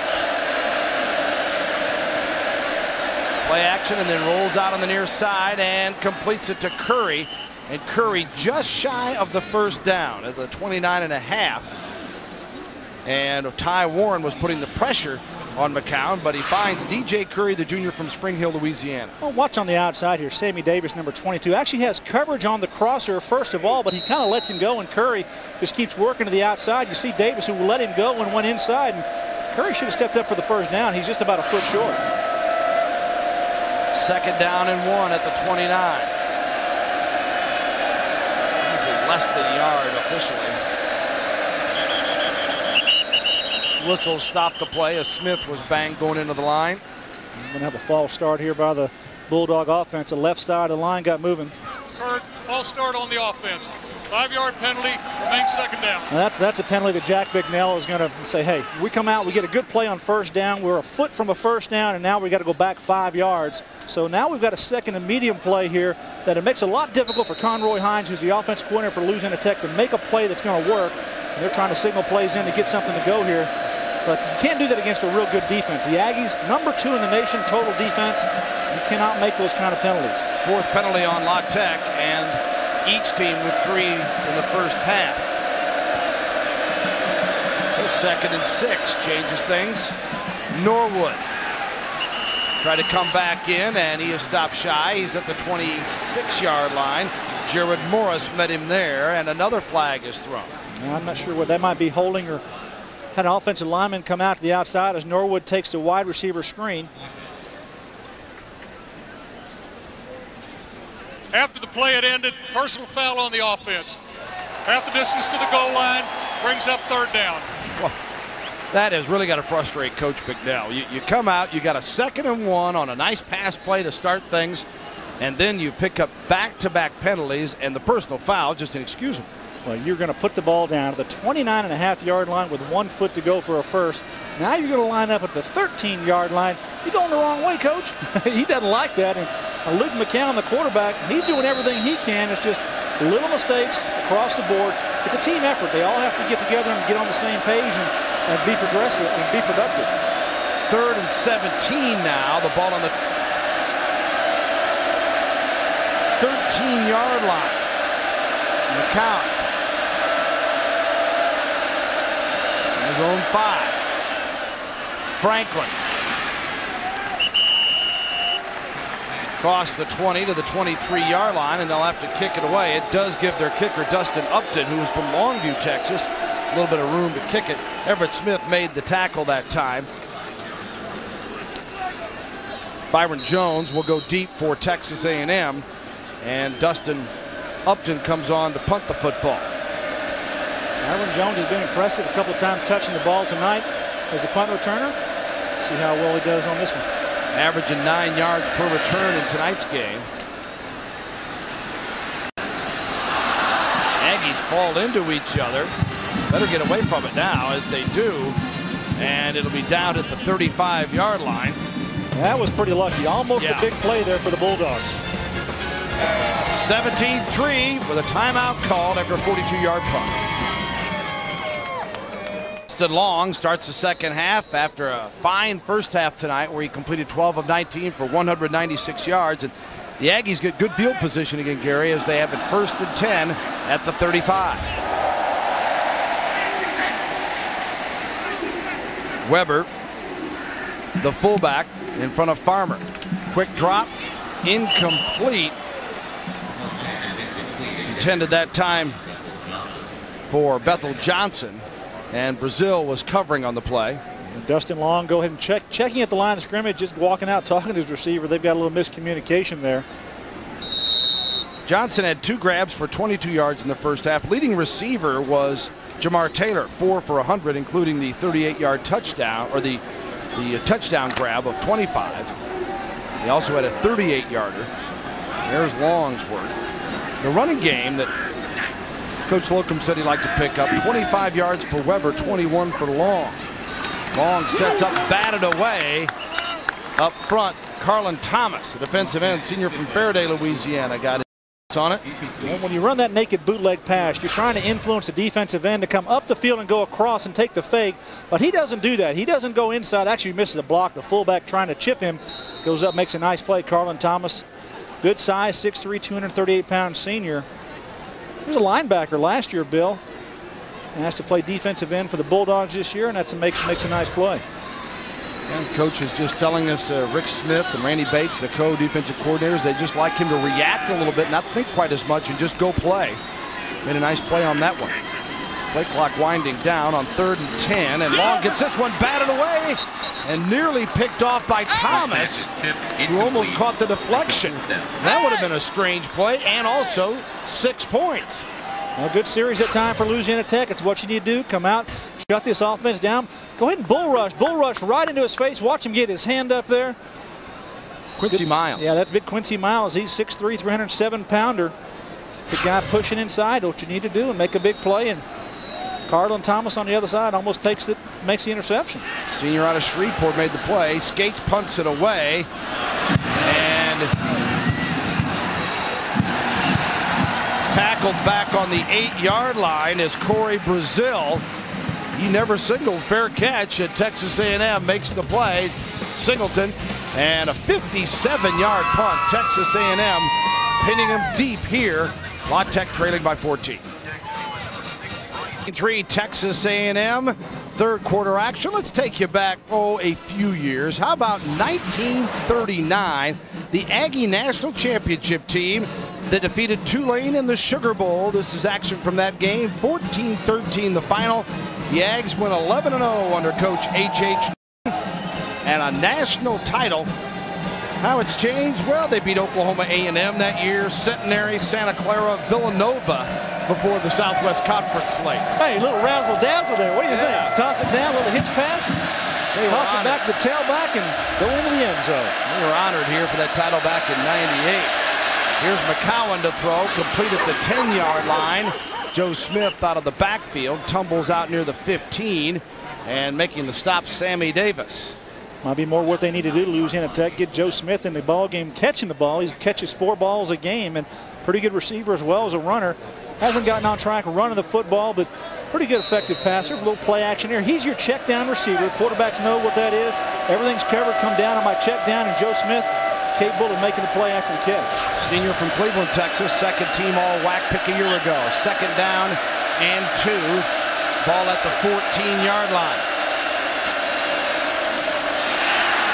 Handoff, nothing doing. Smith is stopped. Line of scrimmage. He'll be stopped at the 10 officially as Marcus Jasmine led the way along with Linus Smith out of Tyler John Tyler. Bill, I heard a whistle, and I think some I of the guys stopped, and I think that uh, the Louisiana Tech Bulldog offense, half of them went and half of them didn't go, and Luke McCown's walking over the official after the play and said, hey, uh, there was a whistle here, and half my guys didn't play. I don't know if that was the Aggie band that was about to strike up again or what, but uh, that was certainly the reaction I got.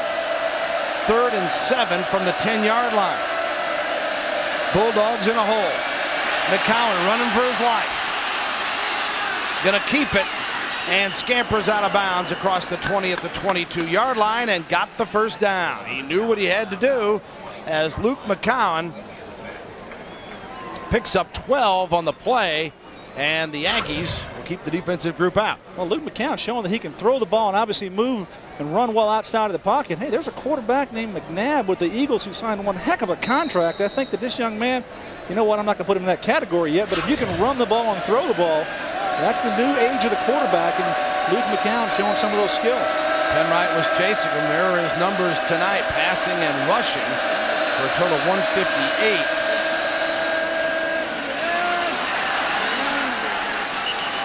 And And the play stopped at the 18-yard line. Let's go down to Jim Knox with a former Aggie player. All right, thank you, Bill. I know a lot of Aggies will recognize this guy. Jay Brooks, number 21 in your program, of course, made some big plays last year, defensive cornerback for the Aggies. I know you want to get out there. You're dying to get out there. Uh, it's just so excited right now. You know, see my um, DBs out there playing hard. The record crew's playing a great game right now. Now, knowing that take yourself in their position, the DBs, knowing that you're going against a passing team like Wild Tech, you're just like salivating all week thinking, hey, I can get three picks out of this one. This is one of the games you circle on your calendar. It's one of those games that you get four or five picks as a, as a secondary. You can't wait. You want to take them to the house and show both of your fans. We're going to let you go. You got to give some DBs some more tips. All right, thank you, Jay. Appreciate it. Bill? Thanks, Jim. On a second and 14, McCown again keeps the football and is run out of bounds near the 27-yard line as Ronald Jones there for the Aggies. Well, Jay's talking about interceptions. They've had a couple balls in their hands. Brian Gamble had a couple balls went through his hands in the first half, and but no interceptions yet for Luke McCown throwing the football, doing a good job distributing it. You know, Bill, coming into this game, he had thrown the ball to 14 different receivers over, uh, over the course of a few ball games, and that's pretty impressive. Seven interceptions, eight touchdown passes coming in here. Third and five. Complete to Smith, who got whacked just as he turned around and caught the football. And he is shy of the first down as Randall Webb made the tackle. I think Joe Smith has Velcro on his jersey. yeah. he, he, turns around, the ball is there, and it just sticks. I, I don't think he even sees the football. Watch him here. He's going to turn late, and oh, there it is. Good hands. Hey, maybe there's Velcro on those gloves. Randall Webb with a big hit. Keep it in front of you, and that was kind of the philosophy when Texas A&M last played Louisiana Tech here when they had Tim Rattay in that renowned passing game and Troy Edwards. Don't give them anything. And on fourth and five, they punt it away with Upton's punt. Fumbled by Jones and then recovered quickly. And Booker T. Washington makes a heck of a hit coming down in coverage for the Bulldogs. Almost gets a fumble he does get a fumble for the opportunity for the Bulldogs, but Texas A&M wisely get on it. You're going to see the return here by Jones and coming down. Watch Big Booker T, number 90, almost clothesline him here and separate the football from the body. That's what you're supposed to do, and luckily for the Aggies, they're on top of it and make a play. So Texas A&M fortunate there as Washington stripping the football, and now Aggies First and 10 at the 39. Farmer. Nice run across the 45. Pushes his way out to the 48 yard line as Derek Farmer, the sophomore from Tyler, had 91 yards and two touchdowns against Pittsburgh earlier this year. When you line up as an I-back, Bill, when you line up seven yards deep, you have a lot of vision to see the line of scrimmage. And running backs, sometimes they fool themselves. They think a hole is not there. I think Derek Farmer's doing the right thing tonight. He's staying inside of his blocks and doing a good job hitting the hole. Second and one. Long. Incomplete intended for Bethel Johnson. Covered on the play by Michael Johnson. Michael Johnson actually was beat. He put his right arm up and tried to knock it out of there, and I think he has right arm is going to do it. You see Johnson here, he's going to be the free safety on this side of the field, and he's just going to pick up the receiver. He's got deep zone coverage, and he just puts his right arm and just distracts him from catching the ball. Bethel Johnson, it was there. Would have been a pretty good catch. Johnson, of course, uh, had the ruptured spleen last year that cut his season short with just eight grabs and 68 yards after the junior year of 42 catches for 440. Dustin Long has now had the last five passes go incomplete. Give it to Farmer. Follows his blockers well, and watch out, Farmer at the 30, the 20, and brought down at the 17-yard line. Willie Shepard with a stop. That's the burst of speed that Farmer has. Good job coming through the line of scrimmage. Good blocking. Watch here as the left side of the line picks up. They get hat on hat, and that's all they need to do. Farmer finds his way through there, and watch him accelerate away from the secondary. Good job that time by, by Willie Shepard coming. The senior makes a play, and Derek Farmer showing that he can make some big plays for this Aggie offense. 35 yards on the play for Derek. the Aggies now with a first and 10, the ball on the 17. Long gives it to Farmer again, a huge hole. And he rolls inside the five-yard line. Derek Farmer with Brazil and Curtis Randall making the tackle. I talked about eye backs, tailbacks, seven yards deep from the line of scrimmage, having a chance of vision. Watch him here. He's seven yards deep. Watch what happens to all the pursuit, and he cuts it back here. There's no one there to, for him to pick him up. Good job that time by Farmer of reading and vision and accelerating through the hole. See the left side of the line, Big Billy Yates making a good block, and Hightower blocking to the outside, the left tackle, opening a big hole for the running back. First and goal from the four-yard line. Farmer. Back to the line of scrimmage. And Antonio Crow makes the tackle. There's a little stiffer defense here by the Bulldogs. Good job of stepping up in there, closing things out. But I think the Aggies, I think they found a way to, to move some people out of there. Their offensive line is doing a good job. Just brought nine people up the line of scrimmage, and the extra bodies, they can't account for them with the safeties coming in the holes. Farmer, the first freshman to lead the Ags in rushing since Darren Lewis last year when he ran for 503 yards. He had two 100-yard games, 133 against Iowa State, 100 against Notre Dame. He's adding them up here. Second down and goal now from the fourth. Long tucks it under and gets right back to about the line of scrimmage, maybe a loss of a yard on the play at the five-yard line.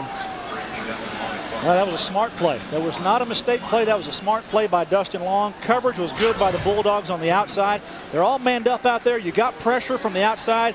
The block is missed there by Farmer, but he tucks it forward and goes north and south instead of making a big loss and a uh, with a sack or at least throwing the ball in the end zone and possibly having an interception. Third and goal now from the five-yard line. Farmer the lone back alongside the quarterback Long. Johnson and Taylor wide right. Murphy down below. Long keeps it back to the five. And they'll have to decide if they want the field goal to be a chip shot or go for it with Quincy Miles making the tackle on this play. Quarterback draw, I don't know, not a bad call that time, but good job that time by the defensive lineman. I think Jeff Gardner needs to stay with his block a little bit longer. He throws him and lets him come around and good job that time by the defense. Credit Quincy Miles, big player inside. So Todd Pegram. One of two with the 32 and the 46, the 32 in the make. And this one a 22 He missed it. So the 22 yarder, much like an extra point. And that is certainly disappointing. So we stay at 17 to 3, Texas A&M. We'll be back. Welcome back as R.C. Slocum strolls the sidelines and obviously not happy over that. I think it's the fear of any coach. You get a 17-3 lead, an impressive first half. You come out, you don't, first of all, punch it in, and then you miss basically an extra point. Well, the field goal opportunity was at the near hash, which is one of those angled field goals. We see them all the time. Those seem to be the most difficult for kickers. I, you know, just something the coaches think that they need to put those in there and kind of gives you a little more gray hair, perhaps more than RC has. McCown to throw and incomplete. Covering in the play was Sean Weston, junior from Inglewood, California. He's got one interception this year. He's, he's enjoyed himself out there. Well, they're happy with Weston's play. He's doing a pretty good job for him. He's their nickel back. They're going to put him in the ball game and let him cover. Playing on the outside here, you see him got great coverage. Just well, good job that time for the receiver coming back to it and trying to make a play on the ball. Second and 10 from the 20-yard line.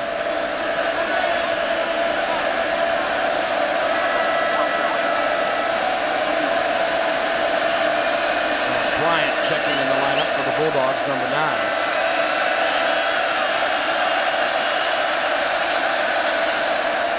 McCown hits Curry, 25, and ridden hard out of bounds near the 28, 29 yard line. Now this is that wide receiver screen. A lot of folks run this, and what they do is they cross block outside. I'm going to come in here and come out here and slip one behind and get him up in that crease right there. It all works well. Everything's going to look good here. Good job blocking there. Block outside and watch Curry get in the middle of that zone. Those blocks, good execution. You have to hustle on defense. You have to have players come from the inside out to make a play on that screen. Archie McDaniel, the freshman from Bay City, Texas, made the stop. The Wild Tech quarterbacks on the sideline signaling the plays in as McCown comes up under center here. And a third down and one. Back to pass. Looking for Norwood. No flag thrown on the near sideline. And Weston covering. That's a poor call. You're here at Texas A&M University. You're going to go for the home run on. I don't think you want to make that call. If you're trying to make something happen, you need to throw the ball in an intermediate range. Your intermediate passing game has been working for you. Luke McCown throws one up there. I don't know if it's by design or a play call, but certainly not a good effort. Dustin Upton, the junior from Longview, Texas, stands back to punt the football away. He's averaging 41 yards. This is eighth kick. Jones tackled near the 40 and the flag thrown as that'll be violation of the halo, I suppose. I think that's the beanbag, Bill. That's okay. the beanbag in the middle field. We do have a flag on the near side of the field, though perhaps there's a hole or a block here on the the near numbers is where the I see a flag. Wilson made the tackle, 33 yards on the punt. Interference with the opportunity to catch the kick on the kicking team. Non-contact foul, 10 yards. Interference with the opportunity to catch the kick. Well, let me tell you something. That man who throws that flag is not even in position to throw the flag. Okay? He's two and a half yards away, but the referee who throws it is on the near sideline, which is way out over here to the right, and he throws it. You have a back judge who's right there next to him, and he doesn't throw the flag. That's what Jack Bicknell's saying.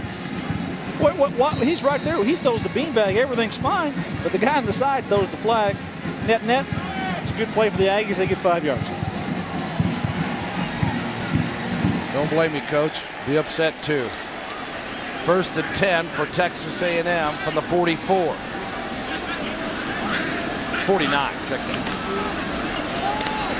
McNeal, the new quarterback, and it is incomplete.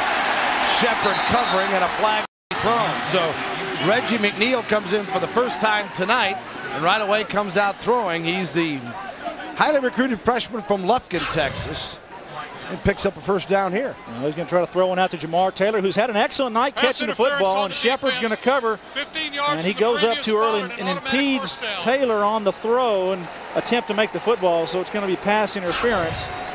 Shepard comes up lame on the plays on the sideline being tended to. McNeal, who has played in two of the three games and really got thrown into a tough situation last week in the Virginia Tech game. And this is more to what they would like to give him the opportunity to kind of grow a little bit. Yeah, tough, tough opportunity. Last week comes in on the five or six yard line, his own five or six yard line, trying to go down the field, and that's it's not easy to do for a young quarterback and an offensive football team that really wasn't in sync last week. First down and 10 from the 34 yard line.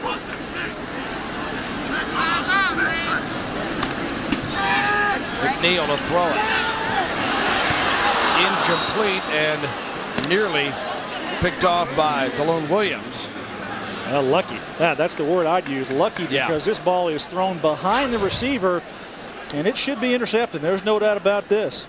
Throws the ball inside and behind and Reggie McNeal's trying to lead the ball outside, but it, it just didn't get where he needed to go. This is where Jack Bicknell's got to be saying, we haven't intercepted a pass, and this is the fifth game of the season.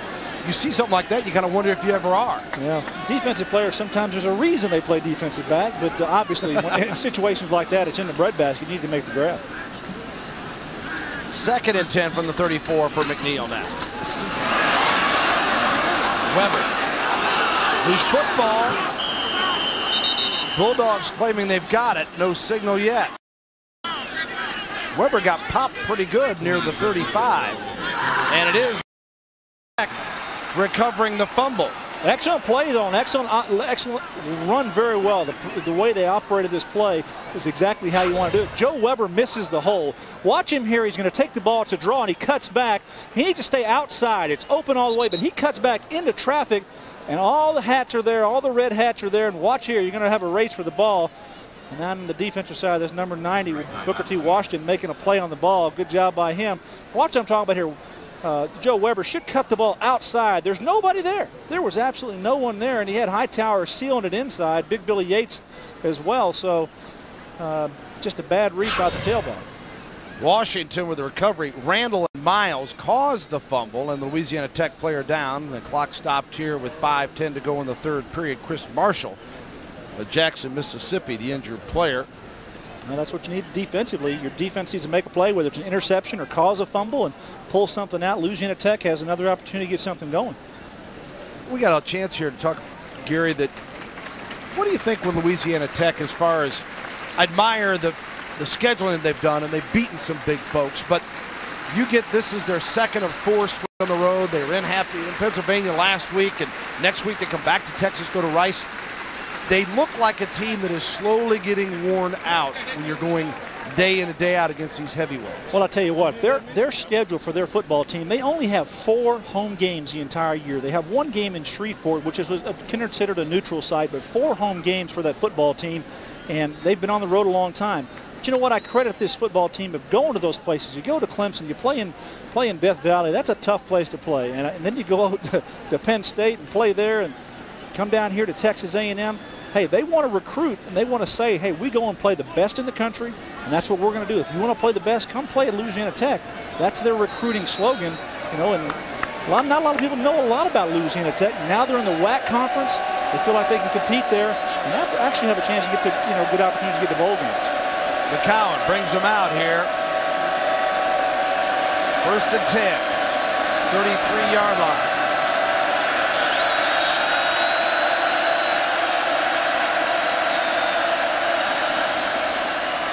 Joe Smith got a good burst off the football out to the 38 and a half yard line. And Ty Warren has been banged around a little bit. Let's find out his status with Jim. All right, real quick, Bill, as we zero in the back of Ty Warren, you look at that right hamstring right now, a bag of ice. That is not good news for the wrecking crew. He's standing on the sidelines watching the defense, but right now it looks like something going on with the hamstring, a bag of ice icing it down, Bill. Thank you, Jim. Ty Sr. from here, Bryan, Texas. Second and five of the 38 for the Bulldogs, down 17 to 3. McCown.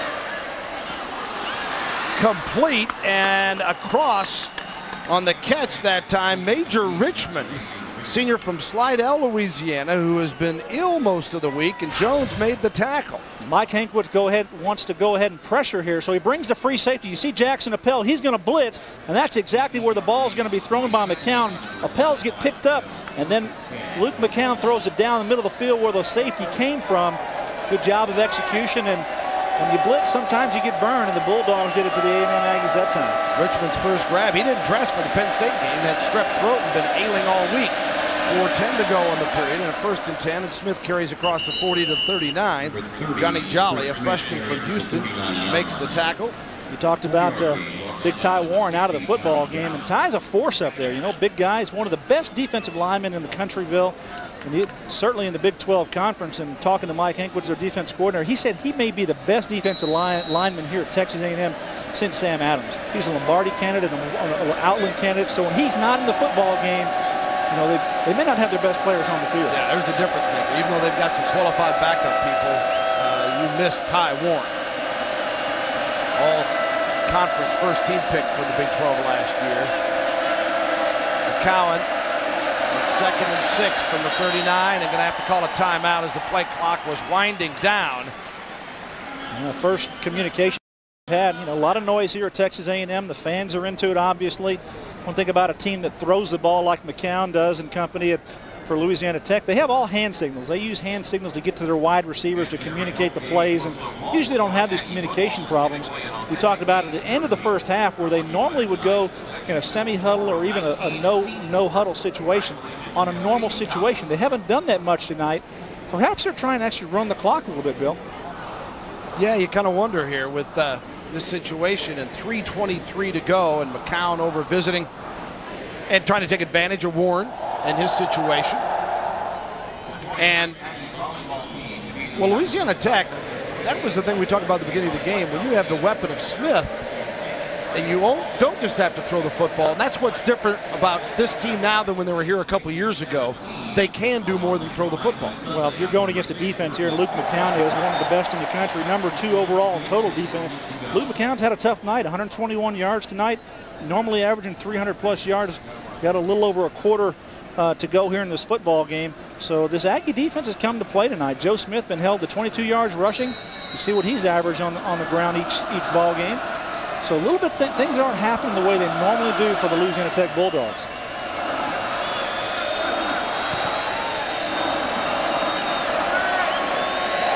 Second and six at 39.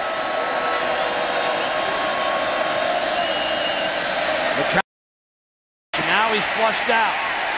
Still on his feet. And hit hard inside the 40 at the 37 yard line by Randall Webb. But he picked up some yardage on the play. Johnny Jolly, he's trying to tell himself, hey, I need to get a sack on this play. Watch big number 60 there in the middle. He's the nose guard. He's just pushing through one, pushing through two, spins around. Hey, there's my boy. Got me a sack. Oops. Luke turns around and goes forward. And good play by the quarterback. They don't have those tearaway jerseys anymore. McCown wishes they did. He might have been able to get loose for a little bit more than he got out of it. Six yards. It's third and four. Five receivers. In trouble now. Got down and sacked.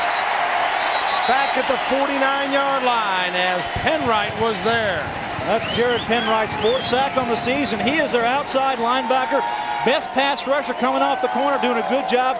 Coming from the backside of a right-handed cornerback, you're going to see Penwright up here just work around to the outside and continue to, to, to make a play on the quarterback. Gets around big Taiwan Bro on the left side at tackle position and gets a good sack for the A&M defense. He forced a fumble in the first half. He's forced a fumble in every game, and now he gets a sack. normally here, McCown's been able to move around pretty easily and get that ball off, but uh, good, good job and hustle by the defensive player. Upton shanks this one over the Aggie bench, and well, he's in big trouble here. We'll see where they spot this football. So interesting, track the path of the punter as he goes to the opposite sideline. He goes to the end away from the head yeah. coach. Uh, uh, he's done a good job punting tonight, though. They, they put some balls down there. That one just uh, came off his foot the wrong way. 13 yards, and Texas A&M will get the football back on its own 36-yard line. We get to see Reggie McNeal again, I think, Bill. Young quarterback come in, first shot out of the box, throw it down the field. I like that. 6'2", 189 out of Lufkin. Took his team to the state title and a 15-1 record. And remember, he's been on campus, what, month and a half? His first completion as an Aggie School hadn't even started yet. Few weeks back. We're talking raw, just by getting in the whole routine of things. Deal rolls out and incomplete. Intended for Jamaar Taylor. Taylor's got a touchdown tonight. Jamaar's telling, hey, you got to take a little bit off of that one. The big junior receivers had a good night. Says, hey, just throw it to me between the numbers and I'll catch it. It's got to be exciting here. Freshmen, young freshmen come in here and play and play in front of these this crowd. A lot of tradition here at Texas A&M, and he wants to be a big part of it. And a lot of a lot of expectations are sur uh, surrounding that young man. Kyle Field capacity 82,600. They proudly announce as the game starts that largest football field in the state of Texas as far as seating capacity. Farmer brought down at the 36-yard line. Antonio Crow makes a nice play on Farmer on the draw play, gets off the block. Farmer's going to get the delay and come inside. Has a hole, but it closes pretty quickly as Farmer gets off the, excuse me, Crow gets off the block. Junior, good job playing inside there, the linebacker spot. Well, it's a third and 10 situation now. So Reggie McNeal, you know, they're going to put his feet to the fire here. Third down. Do you blitz a young quarterback? Third and long? See how he reacts. Third and 10 from the 36 for the Aggies. With a 17. Forward the line of scrimmage. McNeal. He got drilled, but he completes it at the 46-yard line, and that'll move the chains, and there is a flag thrown. McNeal, boy, he took a shot. Cato made the tackle. Not only are they going to get about 18 yards on the pass play, but the personal foul is going to be tacked on on top of that. Rough the, roughing passer. the passer. On the defense, 15 yards Here's added at look. the end of the run. First down. They look at Reggie McNeal. You see pressure right there. Bingo, right up in the face mask. And he throws the ball in there, makes a strike, takes it there. And good job of finding the open receiver in the middle of the field here. I like this. Work to the open area, and the quarterback throws a strike. Good job by the Aggies. Curtis Randall is the player that hit him. And Taylor, the receiver, picks up 18 yards. And it's a first and 10 for Texas A&M. Final minute, third quarter. Ball on the 31-yard line.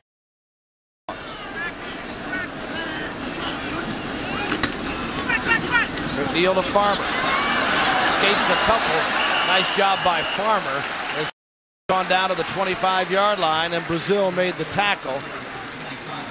Boy, it sure looked like they had him hemmed up at the line of scrimmage, but the farmer does a good job. But just keep picking and keep working to the outside. You're going to see the pursuit here of the Bulldog defense coming outside.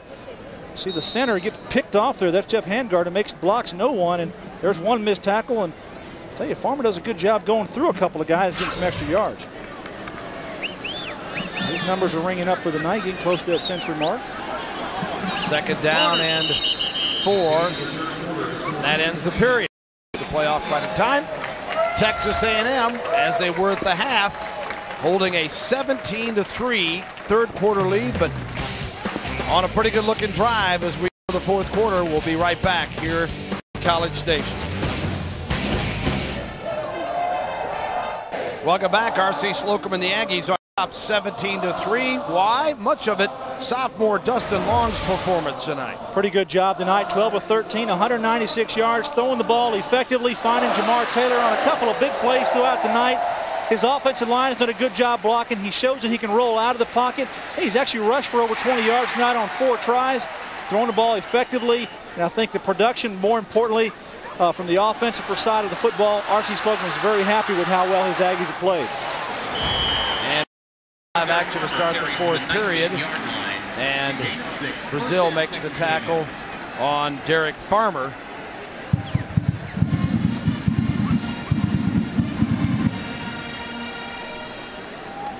First and 10 at the 19 now for the Aggies.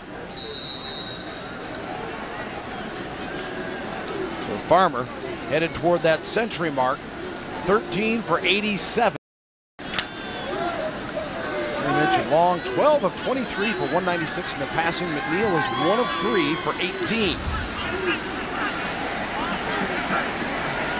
First down. McNeal gives it off to Farmer. Good hard work by Farmer. Pulls his way to the 15 where Adam McConathy makes the tackle. Not big a stature, 5'11", 192, but watch the body lean that Farmer has getting through there. He's got contact with him at the line of scrimmage and just carries the linebacker, McConathy, four or five yards. That's good effort there by the tailback. Well, Garrett, we talked earlier about uh, play calling, all this other stuff. I think a message has gotten through to the players that you're going to have to execute a little bit better, play a little harder, a little bit more push from all areas. It's a, it's a team effort all around. Coaches, players, execution. The Aggies are doing very well tonight. Second down and six. McNeal in trouble. Rolling out. And complete. Ball loose. Was it a touchdown? Recovered in the end zone. It's going to be an interception, I believe, by Louisiana Tech, Michael Johnson. Porter got popped as he went into the end zone, Gary, and ruled no possession well, and then an interception. First of all, McNeal is lucky here. It's almost intercepted. It should have been. But I tell you, Porter, as the way I see it, he has a touchdown. He gets across the line of scrimmage and no, I'm wrong. He is not. The ball pops out. Good job that time by the Bulldogs. Conversion, I thought from the first angle I saw, he might have got it across the line.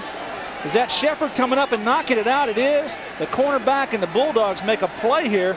Here's one right at the end line. Is the ball across the plane? No, the no, ball I don't think across. it did. It's not where the player goes across, the ball has to go across, and the Bulldogs make a big play defensively. And Michael Johnson comes up with the interception, or the fumble recovery, I should say, as that goes as a pass completion and a fumble. Well, it all depends on whether Does it? as a completion because if he didn't have didn't have the I guess it's not an intercept. Yeah, it's a complete so, two of four for so 33 yards. Well, a completion and a fumble. My question is, okay, he has control of it, so it definitely is a fumble. Shepard causes the fumble and it's recovered. Net here, it's the uh, Bulldogs coming out now at the 20-yard line, second and 10. McCown, the Aggie crowd now getting after it. Curry Slipped by a tackler. Brought down by Jones. And number seven, DJ Curry. Stop there. It'll be Texas A&M. Tackle on the play made by number 11. La Tech with a third and six now. The ball on the 24-yard line coming up. Well, this is an interesting play. You've got Joe Smith to the outside. You've got Curry coming here. You've got two levels. I'm leaving. So you know that the quarterback has three or four different levels to go to. So that's what's difficult for, for the defense to cover with this offense.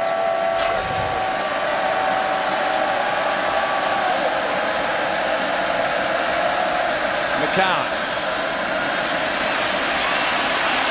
Chased by Webb. Completes it. At the 30 as Smith rolls out of bounds at the 34-yard line. That'll be a first down, Louisiana Tech.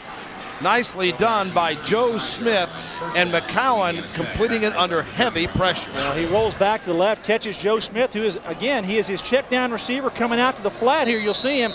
Then you're going to have a missed tackle. Sammy Davis, number 22, comes up, should make the play right here. Little flyby. Good job by Joe Smith showing his quickness. Gets a first down for Louisiana Tech. Now Smith, that dual role, came in with 17 receptions and also leading him in rushing at 367. First and 10.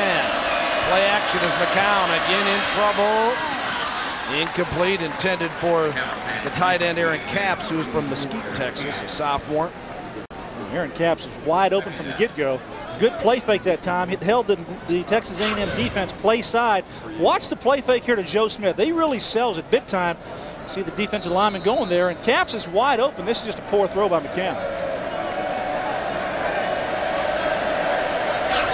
12:22 remaining, and while Texas A&M never trailed, appeared to be punching in for almost a ceiling-type touchdown here, and then a weird fumble, and now Louisiana Tech a little bit of momentum. Second and 10 at the 35. That's that pass, look out. And going deep, incomplete. Intended for Norwood, Ahmad Harris is the man that threw the pass, the senior from Baton Rouge, Louisiana. When you run that slip screen several times, this is a compliment play to it. You're going to have Harris come back here, and he's going to be the quarterback now. He catches the ball behind the line of scrimmage. It is a lateral. He throws it out, just overthrows Norwood. Great call, Gary. It was a good call. He had a big play there, possibly a touchdown. You see the fake block and take off. Norwood had him set up. He think the cornerback was thinking, hey, I got that screen play again. I got to beat this block. And Norwood giving all he could. Third and 10 now at the 35 timeout here by Louisiana Tech. They don't like what they've got. Luke McCown turns to the referee behind him and calls timeout. We'll take a brief timeout as well with Louisiana Tech trailing Texas A&M 17 to 3 here in the fourth.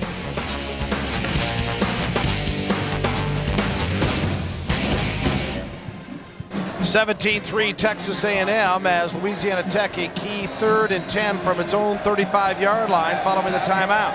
Bill and Gary Reasons, Jim Knox as Jack Bicknell, the Bulldog coach, looks on. McCown, the quarterback. Just a three-man rush on McCown, selling out for the coverage. Got a man Franklin. Was he out of bounds? Yes. Out of bounds. Eric Franklin, the receiver. And Louisiana Tech one would presume would kick it away with 12-10 to go. That's so close. Luke McCown knows, hey, I'll throw it just a little bit more inside. We've got the first down. Good effort there. Good stand by the Aggies, though. Good defensive series. Well, the Bulldogs are showing they are going to be a force again in defending their WAC championship. Fresno State is leading Rice 17-14. That's in the second quarter from the WAC. Colorado State beat WAC member Nevada 32-28 tonight. Nevada's an beat BYU earlier. The punt, everybody gets away, rolls out of bounds on the Aggie sideline at the 31-yard line. And Dustin Upton with the punt, and Texas A&M will take it over there after a 34-yard kick. And speaking of kick, let's kick it back down to Jim Knox. There we go, Bill. Hey, I was down on the Aggie sideline, and after Reggie McNeal threw that interception, Greg Porter, of course, fumbled the ball. He went straight to the freshman who was sitting on the bench and said, hey, get the head up. That was my fault. He didn't want Reggie to get down on that one. Clearly his fault as he fumbled that one in the end zone. Yeah, and that's the way it went down statistically as a fumble by Porter. so Take a look here at the Aggies offensively. 30 rushing plays, 27 passing plays. A little different play calling than a week ago where they rushed the ball predominantly. You know, Bill, and more importantly, with their production offensively, Texas A&M last week against Virginia, Virginia Tech, they averaged 2.5 yards per offensive play. Tonight, they're averaging 6.6 yards per offensive play. Obviously, things are going a lot better for Texas A&M. It comes down to execution, and as we saw in that graphic, sometimes it comes down to play calling. Yeah, and let's give credit too. Virginia Tech is not just a good, but I think a very good, if not great, football team, and ranked in the top 10. But uh, there's also just a little bit different look about this A&M offense uh, tonight in, in, the play calling and what they've come up with. Just a different spark, which this team certainly needed. Second down and 10 at the 31 now. Long back in as the quarterback to throw the football. Got a man. Taylor incomplete. Hung it up a little bit, and that gave Corey Brazil time to get there and knock it away. Play action pass. You're allowing the quarterback to, to throw the ball. We've got Dustin Long back in there at the quarterback position. Reggie McNeal taking a breather now. Watch the block here. Number 51, Taylor Whitley gets his guy. And now we're throwing the ball outside to Taylor. He has to slow down for the ball. He actually has the defender beaten. Dustin Long throwing a couple of good balls here already to Taylor tonight and made a good play. And that was a good play by Corey Brazil breaking on the football. Another Big 12 WAC matchup today is Kansas is leading Tulsa 35-19. That in the third quarter in Tulsa. Oklahoma, third ranked in the country, is blanking South Florida 28-0. Four minutes to go in the third.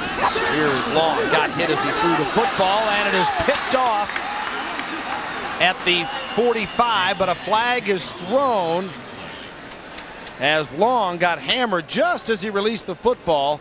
And Lee Johnson comes up with interception, would be the first of the year for the Bulldogs if it stands. I don't think it's going to stand. I think That's the back luck, judge threw a penalty flag here in the middle of the field. And usually he's watching the inside, the number two receiver, which is normally the tight end position. But in this these offenses today, that's the usually the slot receiver. And sometimes it's going to get holding or pushing off. I think they're going to call it against the Bulldogs. Maybe we're going to It's holding on the defense on an eligible pass receiver before the pass was thrown. 10 yards previous spot, first down. Jack Bicknell, you see his reaction. I don't know what he said. Isn't only an eligible receiver, blah, blah, blah, blah, blah. Holding, you usually do that about receivers, and you got to wonder who's holding who. Is this the hold right there? Yeah, that's what it is. That's the hold. You got the you got the back judge actually right there coming from throwing behind. That's what he saw. Quarterback here taking a shot. Dustin Long gets popped pretty good from the outside. That's on time by Big Van Hoy, the big defensive end. Defensive tackle, rather. And Louisiana Tech, nine penalties, 97 yards. A&M, Gary, just three penalties tonight, and they had come into this game with 34 penalties, averaging 11 per game, and big difference there tonight. Well, that's smart football. You know, you're disciplined, and that's what you have to do. You have to play smart football. You can't can't give teams plays with penalties. First and 10 from the 41 after the penalty. Huge play as A&M gets the ball back. And Weber bounces off one and rolls across the 50 to the 45 of the Bulldogs. Corey Brazil brings down Joe Weber. And the linebacker number five, Curtis Randall, steps up in the hole, and what he does, he picks a he picks a side you're going to watch the play here develop. He picks a side on the blocker and spins around. You can't do that. Weber gets through the hole there and makes a good run into the secondary.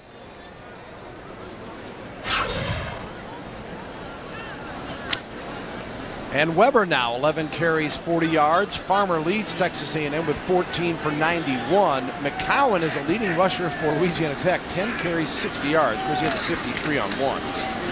Here is Weber again to the 40, close to the 39-yard line before he's brought down. It'll be a third down and six, or second and six coming up. Just banging away here. Good job by the offensive line. Just stay at them. Texas A&M is wearing down this Bulldog defense.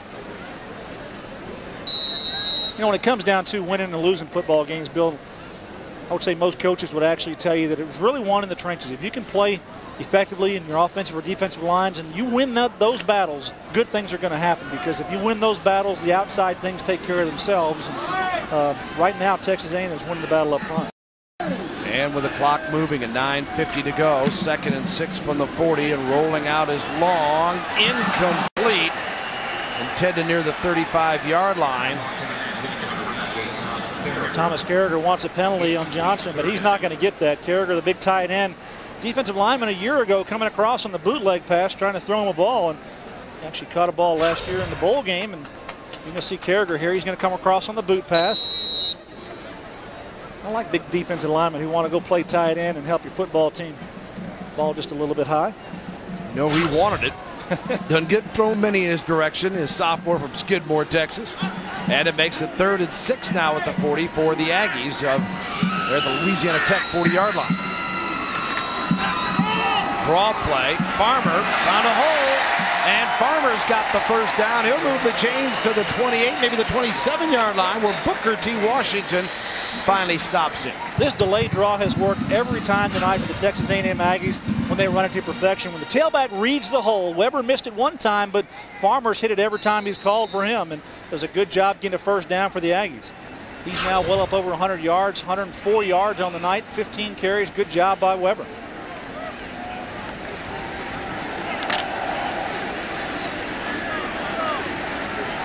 First and 10 at the 27 of the Bulldogs.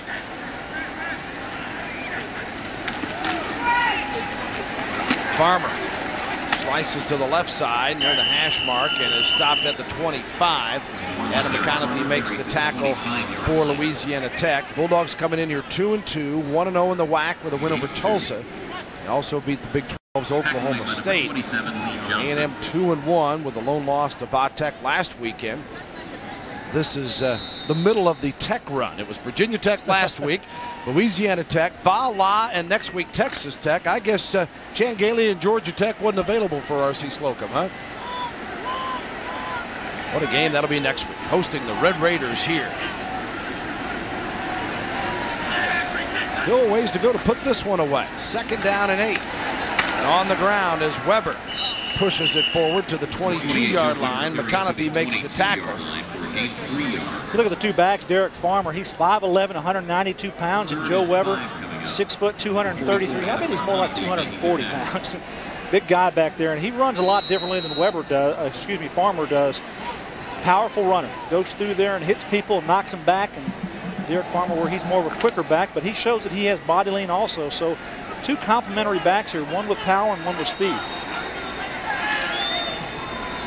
Third down and five at the 22. A&M trying to grind it out. Now looking to throw, and Long does so and is complete for the first down inside the 15-yard line as Jerome Wallace made the tackle on Keith Joseph.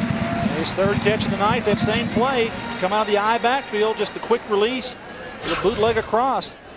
Weber, and you see Joseph coming out here, sneak pass, and Dustin Long bingo right there too. And the linebacker's running from the inside. That's just a long way to go. Jerome Wallace, the middle linebacker, has to track him from the inside out, and he's got to play that run fake first, so that's why he's a step or two behind. And Long, after a string of incompletions, gets his first completion in the second half. He's 13 of 26, and he goes over the 200-yard mark for the night, 205. More importantly, first and 10 at the 13. Farmer broke a tackle and drags one with him down inside the 10-yard line. Showing a little punch of his own. Good job getting through there and determined runner. Wallace makes the tackle. A lot of rotation here on Texas A&M's offense. A lot of personnel groupings. They're trying to give Louisiana Tech a different look. That way they have balance. They don't. They're not always doing the same thing over and over and over again. They're moving people in and out of the lineup. We talked about it earlier. Dino Babers, the offensive coordinator, not calling the plays tonight. Kevin Sumlin, the wide receivers coach, who's the assistant head coach on this football team, calling the plays tonight. And I think doing a pretty good job. See Farmer with a season high, second down and six now, and Farmer hit hard, but his momentum carried him down to the six-yard line where Michael Johnson made the tackle. Yeah, he's got to get to the three-yard line for a first down. They still can get a first inside the inside the three. So Aggies have a third down here and three or four to go for a first down. A lot of quarterbacks and offensive systems are going. You see Dustin Long on the wristband there. They can put a lot of plays on there, and then on the sideline, they just signal in, you know, a couple of numbers. He just looks on the wristband and says, "Hey, we're going to run uh, number 18, which is blah blah blah blah, whatever it is." pretty effective system. That way it cuts down on the communication and the signaling that the sideline has to do to the quarterback. Speeds up the whole process. Third down and three. Up the middle. Touchdown, Texas A&M, Derek Farmer. So Farmer having quite a night as he gets in for the TD and Farmer getting his fourth touchdown of the season. Well, a whole lot more smooching going on in the stands here at Texas A&M on the right guard. Taylor Whitley, number 51. Watch him block. Does a good job here sealing off everybody inside. Turns his man. Farmer runs right behind him and touchdown for the Aggies. Six yards on the TD run. And now for the point after. Todd Pegram and flags thrown before they can get things underway. I'm sure he's happy that there's a flag. That ball's right, and he's missed a couple of field goals. I'll start on the offense. Five yards. You know, the coaches tell these kickers, go ahead and kick them through no matter what the penalty or the situation is. Just go through because you can't make any adjustments. You never know. You never know. You know, we thought we heard a whistle earlier tonight, but there wasn't a whistle. And so kickers have to go through that route. Uh, this young man's, you know, having his struggles tonight. Like I said, missed a couple of field goals, one longer one, 122 yards from a hash mark, and, and here we are lined up for an extra point, and needs to put this one right down the middle. He's the first true freshman to kick for R.C. Slocum in his 14 years here, so that adds a little bit to it. Border the hold, the kick, and this one is up and good. So Pegram takes care of business here, and the Aggies make it 24 to 3. 5.52 remaining in the football game here in College Station. Farmer with a score.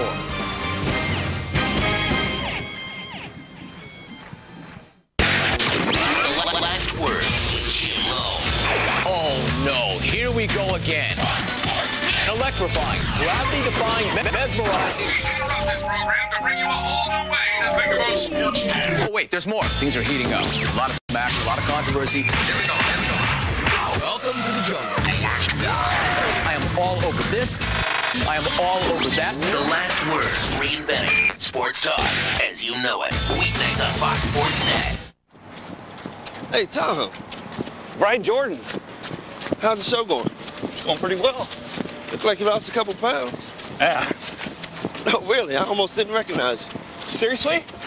Hey, you want to come on the show sometime? Sounds good. Catch up with you later.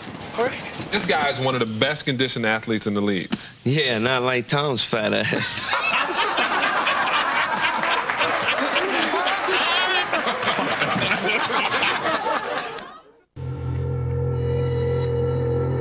You ready to see what it takes? The Stars have loaded up for another run. This team can go all the way. With an attack led by Mike Modano, nobody's going to be able to stop Dallas when they're on their game. This is their time. This is their year. Stars Hockey returns October 15th on Fox Sports Net. Texas A&M gets the first score of the second half on Farmer getting the TD and Long coming back in to revitalize the offense and Aggies with a 24-3 lead and Scates will now kick it off for Texas A&M. Moats and Franklin are the deep people for Louisiana Tech.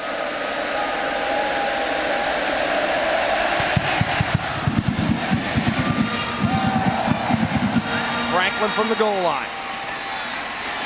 Hit hard at the 12, and that is not the Eric Franklin that we saw go 84 against Tulsa on a kick return as the Aggies came down there. Let's go quickly down to Jim Knox. All now. right, thanks, Bill. Thank you very much. Tell you what, this offensive line, the Aggies doing a great job opening some big holes. And how about big number 75, Jami Hightower? He has a little bit more incentive in this game. You see, guys, he went to Jacksonville High School, the same high school Luke McCown went to.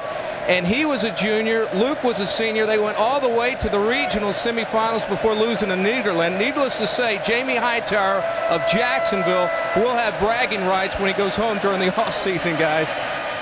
First and 10 and incomplete from Luke McCown. Yeah, they're Louisiana Tech with a, a, number of Texans, as you might imagine, on their squad out of Ruston, Louisiana, Louisiana Tech. And also kind of interesting, Jack Bicknell telling us, Gary, that they recruit some junior college players and redshirt them, which is something you don't see very often. Well, it's called a three for two program. If they can get a junior college transfer, if they still have eligibility, they can redshirt those guys.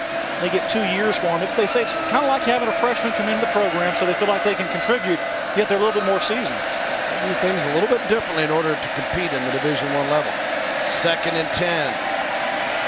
McCown intercepted. The 45 at the 30. This is Weston. Weston inside the five-yard line. Sean Weston. And you can see why they're excited about him in Aggie Land. 44 yards on the interception return. Weston gets his second pick of the season. Sean Weston has deep outside coverage, does a nice job of just laying back in the defensive zone, deep zone. Going to be a little communication problem here between Luke McCown and the receiver on the outside. He's going to take it to the inside and watch the ball drift back to the outside. And Weston is there, makes a good play and gets away from the, the, the receiver trying to pull him down and doing a good job of returning his football. Gets it inside the five. As a freshman, he was a freshman All-American and broke up 15 passes last year. Seven breakups, one interception. This year, back more to his freshman level. Sets the Aggies up. McNeal had trouble with the snap. Finally reaches out and hands it off to Goins. He's to the five. And a touchdown. Dwayne Goins. They're all getting in on the party now.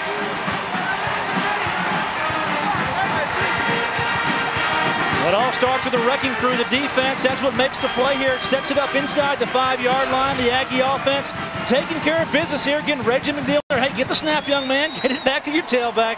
And Goins got the speed, breaks the tackle, takes it around the corner, and gets a score for the Aggies.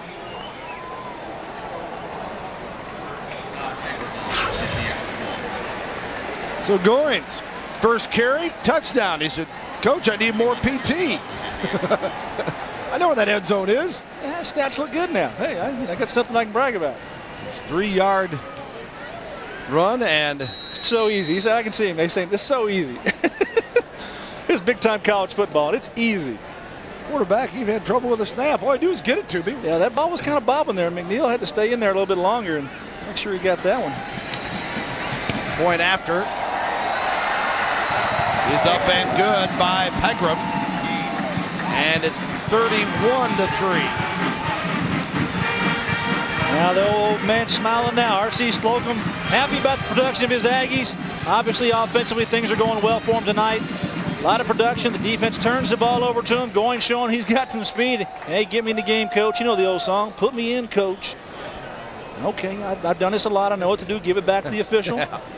That's kind of nice to see for a change. Yeah, it, it is. Yeah, it's refreshing. You know, young man comes in, makes a play. Automatic, okay, give it to the official, and let's go do it again. Well, he might be their fastest player. He's a senior from La Marque, Texas, and wow, look at that blocking up front. We kind of glazed over that, but inside, guard through center to the backside. Oh, bingo! Look at that sealed block. Who is that? Oh, I tell you, that's pretty good blocking there. Stacy Jones. Jones. Yeah, yeah, senior from Midland Lee. Just I took talked two about him being a goal line blocker. And Look at Stacy here. Gets outside and seals back. Turns back and gets two for one. I like this. Got him on the ground too. Bingo. Goins might go over and shake his hand too. All right. Do we, do we have one more angle on this? There you go. I, I knew we'd get another angle. Good. Look at that. Look at that. Good job of blocking. I think he's having fun tonight. Great crew we've got here tonight. Hope you're enjoying it all. Texas A&M with the 31 to 3 lead now. Aggies led 10 0 after one, 17-3 at the half, a scoreless third period, and then A&M at 5:52 left made it 24 to 3 on Farmer's run, and then 35 seconds later, Goins takes it in. Now they're going to have to ask to issue some chapstick. A lot of kissing going on out there. Chap lips working here tonight in Aggie Land.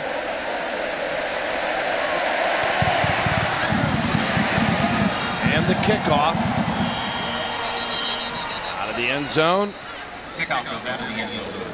And the touchback will bring it out to the 20 yard line for Louisiana Tech. That was a strong kickoff, too. Into the end zone. Hit in the end line, inside the goal line, and bounced through. Pretty good kick. Yeah, we talked about Josh Scobie. Well, certainly Scates can kick it. And, and Scates, the thing this year, last year, Scates did both the punting and the field goal kicking as well as kicking off. This year, Pegram getting the shot at the place kicking, and Scates concentrating on the kicking off and punting. First and 10 at the 20 for the Bulldogs. McCown. Gives to Joe Smith. Picks up a couple before from behind by Johnny Jolly. Well, this defense got a lot of players rolling in there for the Aggies now, getting some game experience. This is important. Have a chance to get in there, young guys. Sometimes you never know when some one of the big guys in front of you may go down, and you have to step up and play. Earlier tonight, we saw that Ty Warren, number 94, he came out of the ball game, had ice on his hamstring, and uh, one of the best players in the conference, defensive all-conference selection a year ago, Big 12 player, and he's a big part of that defensive line and one of the best defensive linemen in the country. So that's just the point I'm making here is that when you have an injury possibly to, to a guy like that, some younger player may have to step in and fill some pretty big shoes. David Ross getting some opportunities now in that case, the redshirt freshman from Forney, Texas. Joe McCown, second and six call for the 24-yard line. 4.52 remaining.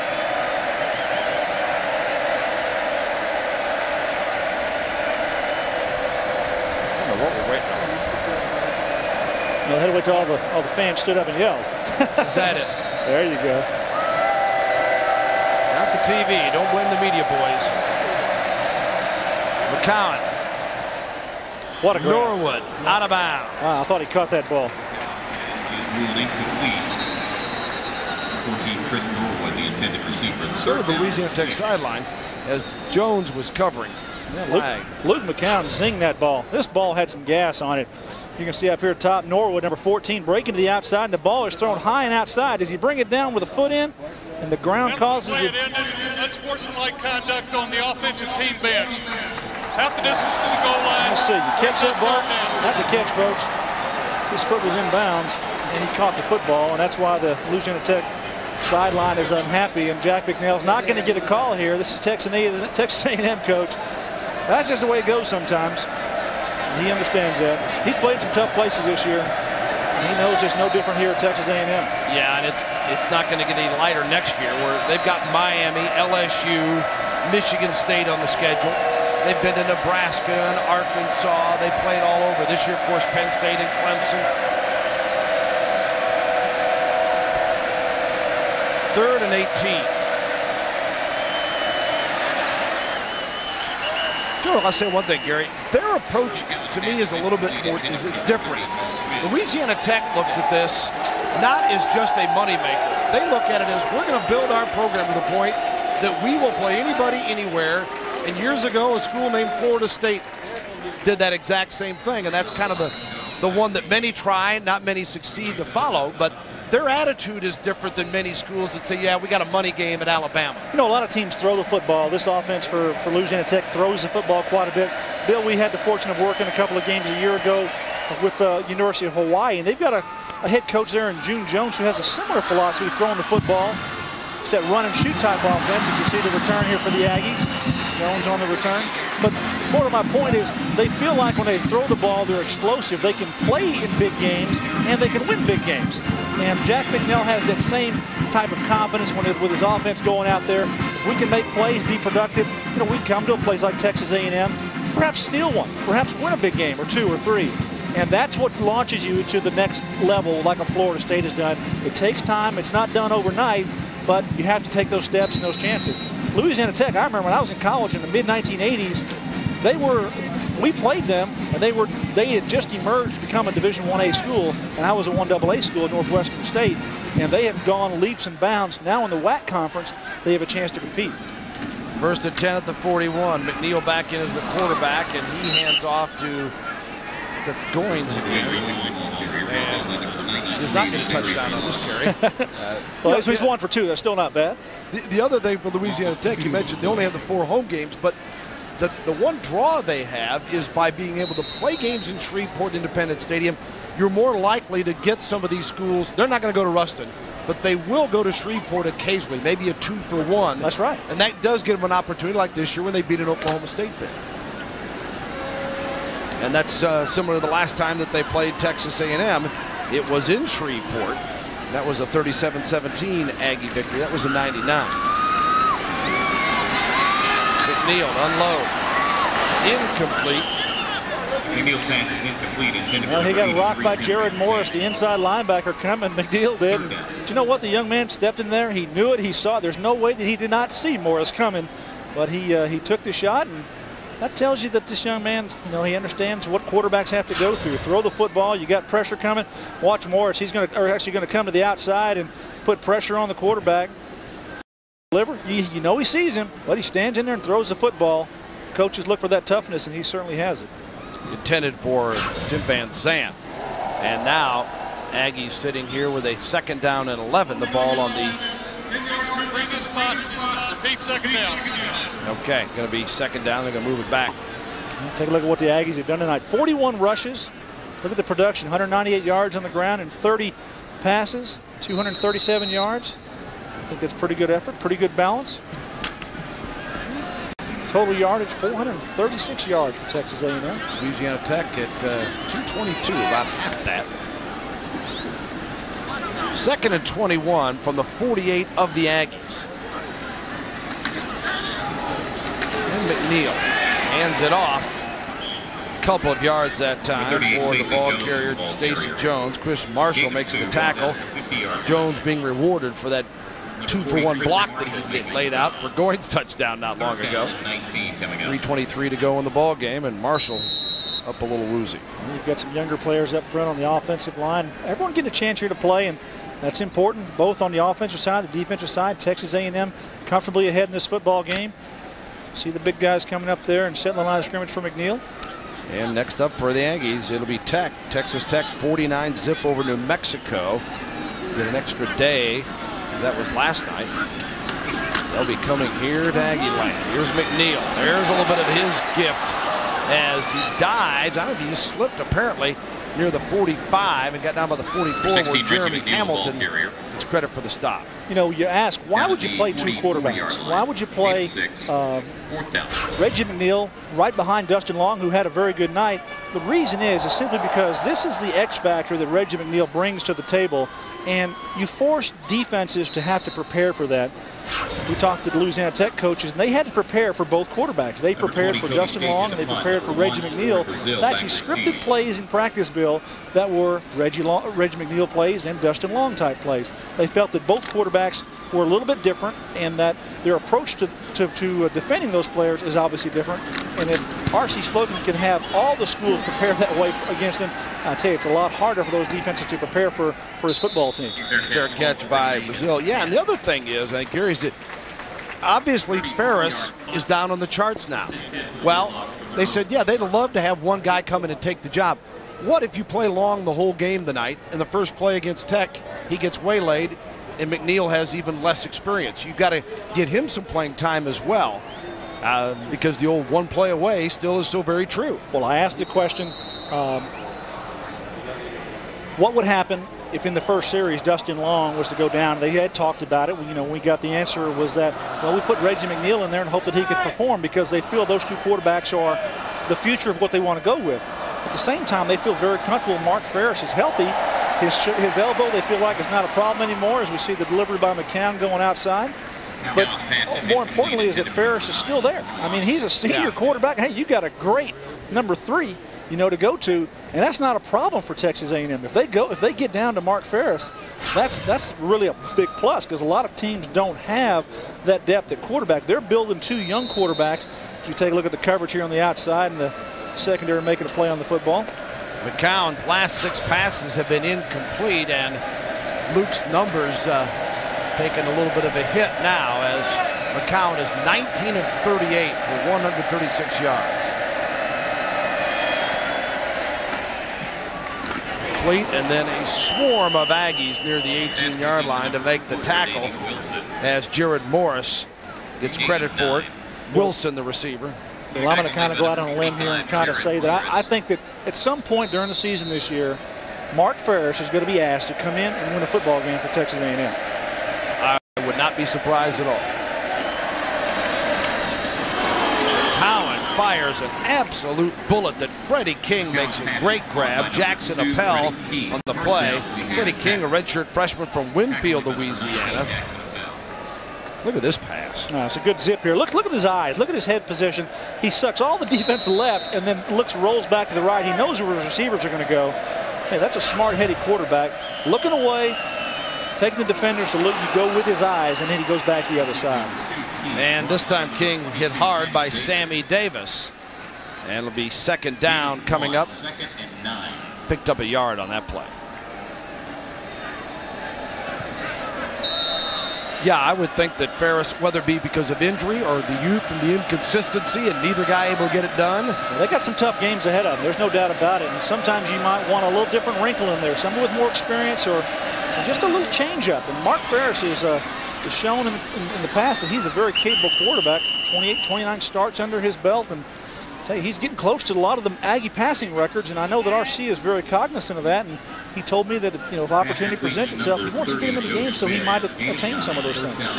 There is Farris, the former minor league player that originally signed with A&M, and then after years in the minor leagues and riding the buses, he saw A&M in Florida State back east up at Giant Stadium and said, "Wait a minute, I missed that." Wanted to if he'd come back. McCown is sacked on the play. Penwright there again. Yeah, number two sack for, on the night for Penwright. That's his fifth on the season. Good job coming around the corner. Speed rusher. They, he's their best outside linebacker pass rusher. Doing a good job coming off the corner here. Watch him get the spin, got the rip up, undercut, gets around the corner and makes a play. Counting it down here in the final seconds, and that'll be the ball game, it appears, as Texas A&M gets back on the winning track. R.C. Slocum picks up win number 120 in his career as the Aggies win it 31 to 3 over Louisiana Tech here at Kyle Field. And a congratulations from Jack Bicknell as the Bulldogs fall to 2 and 3. They'll be back in Texas next week at Rice. Texas A&M will be home to take on Texas Tech. Let's go down on Jim Knox. Has the head coach R.C. Slocum with him. All right, thank you, Bill. Coach, you got to be extremely pleased. Really dominated on both sides of the football. We'll start with offense. Rushed it for 206 total yards, 237 through the air. Very balanced tonight. I thought we made some progress. I was really pleased. We talked this week and we talked before the game about making progress in the direction we want to go. We want to be a great offensive football team, and we're going to be a great offensive team. We made some progress in the right direction tonight. Now to that defense, you can't say enough by the wrecking crew. A couple of key turnovers and just about got that shutout. They came close to the shutout. I'm disappointed. Had the one scramble there, but I thought they did a great job holding them to a field goal there before the half. But really proud of the effort. I thought the defense played great. All right, conference play kicks off next week. You guys get Texas Tech at home. That should be a lot of fun.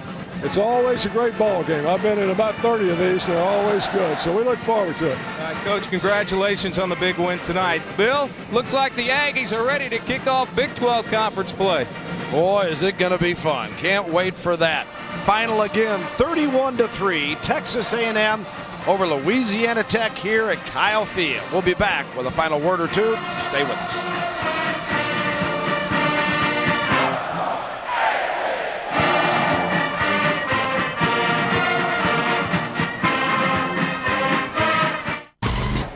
Aggies, a little celebration tonight with a convincing win, 31 to 3, the final over Louisiana Tech to go 3 and 1 on the season.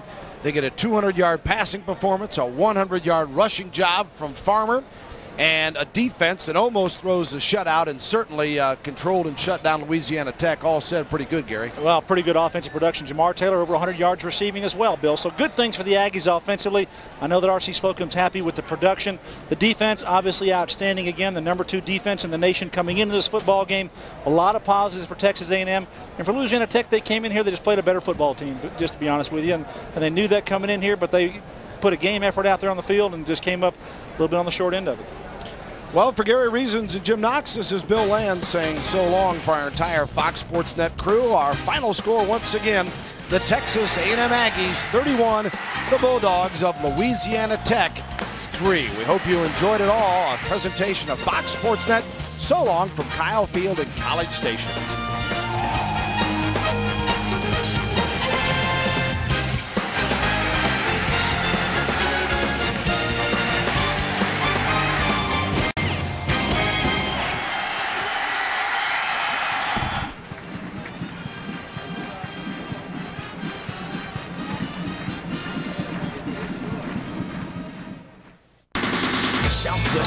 Tonight. Covers your hometown sports scene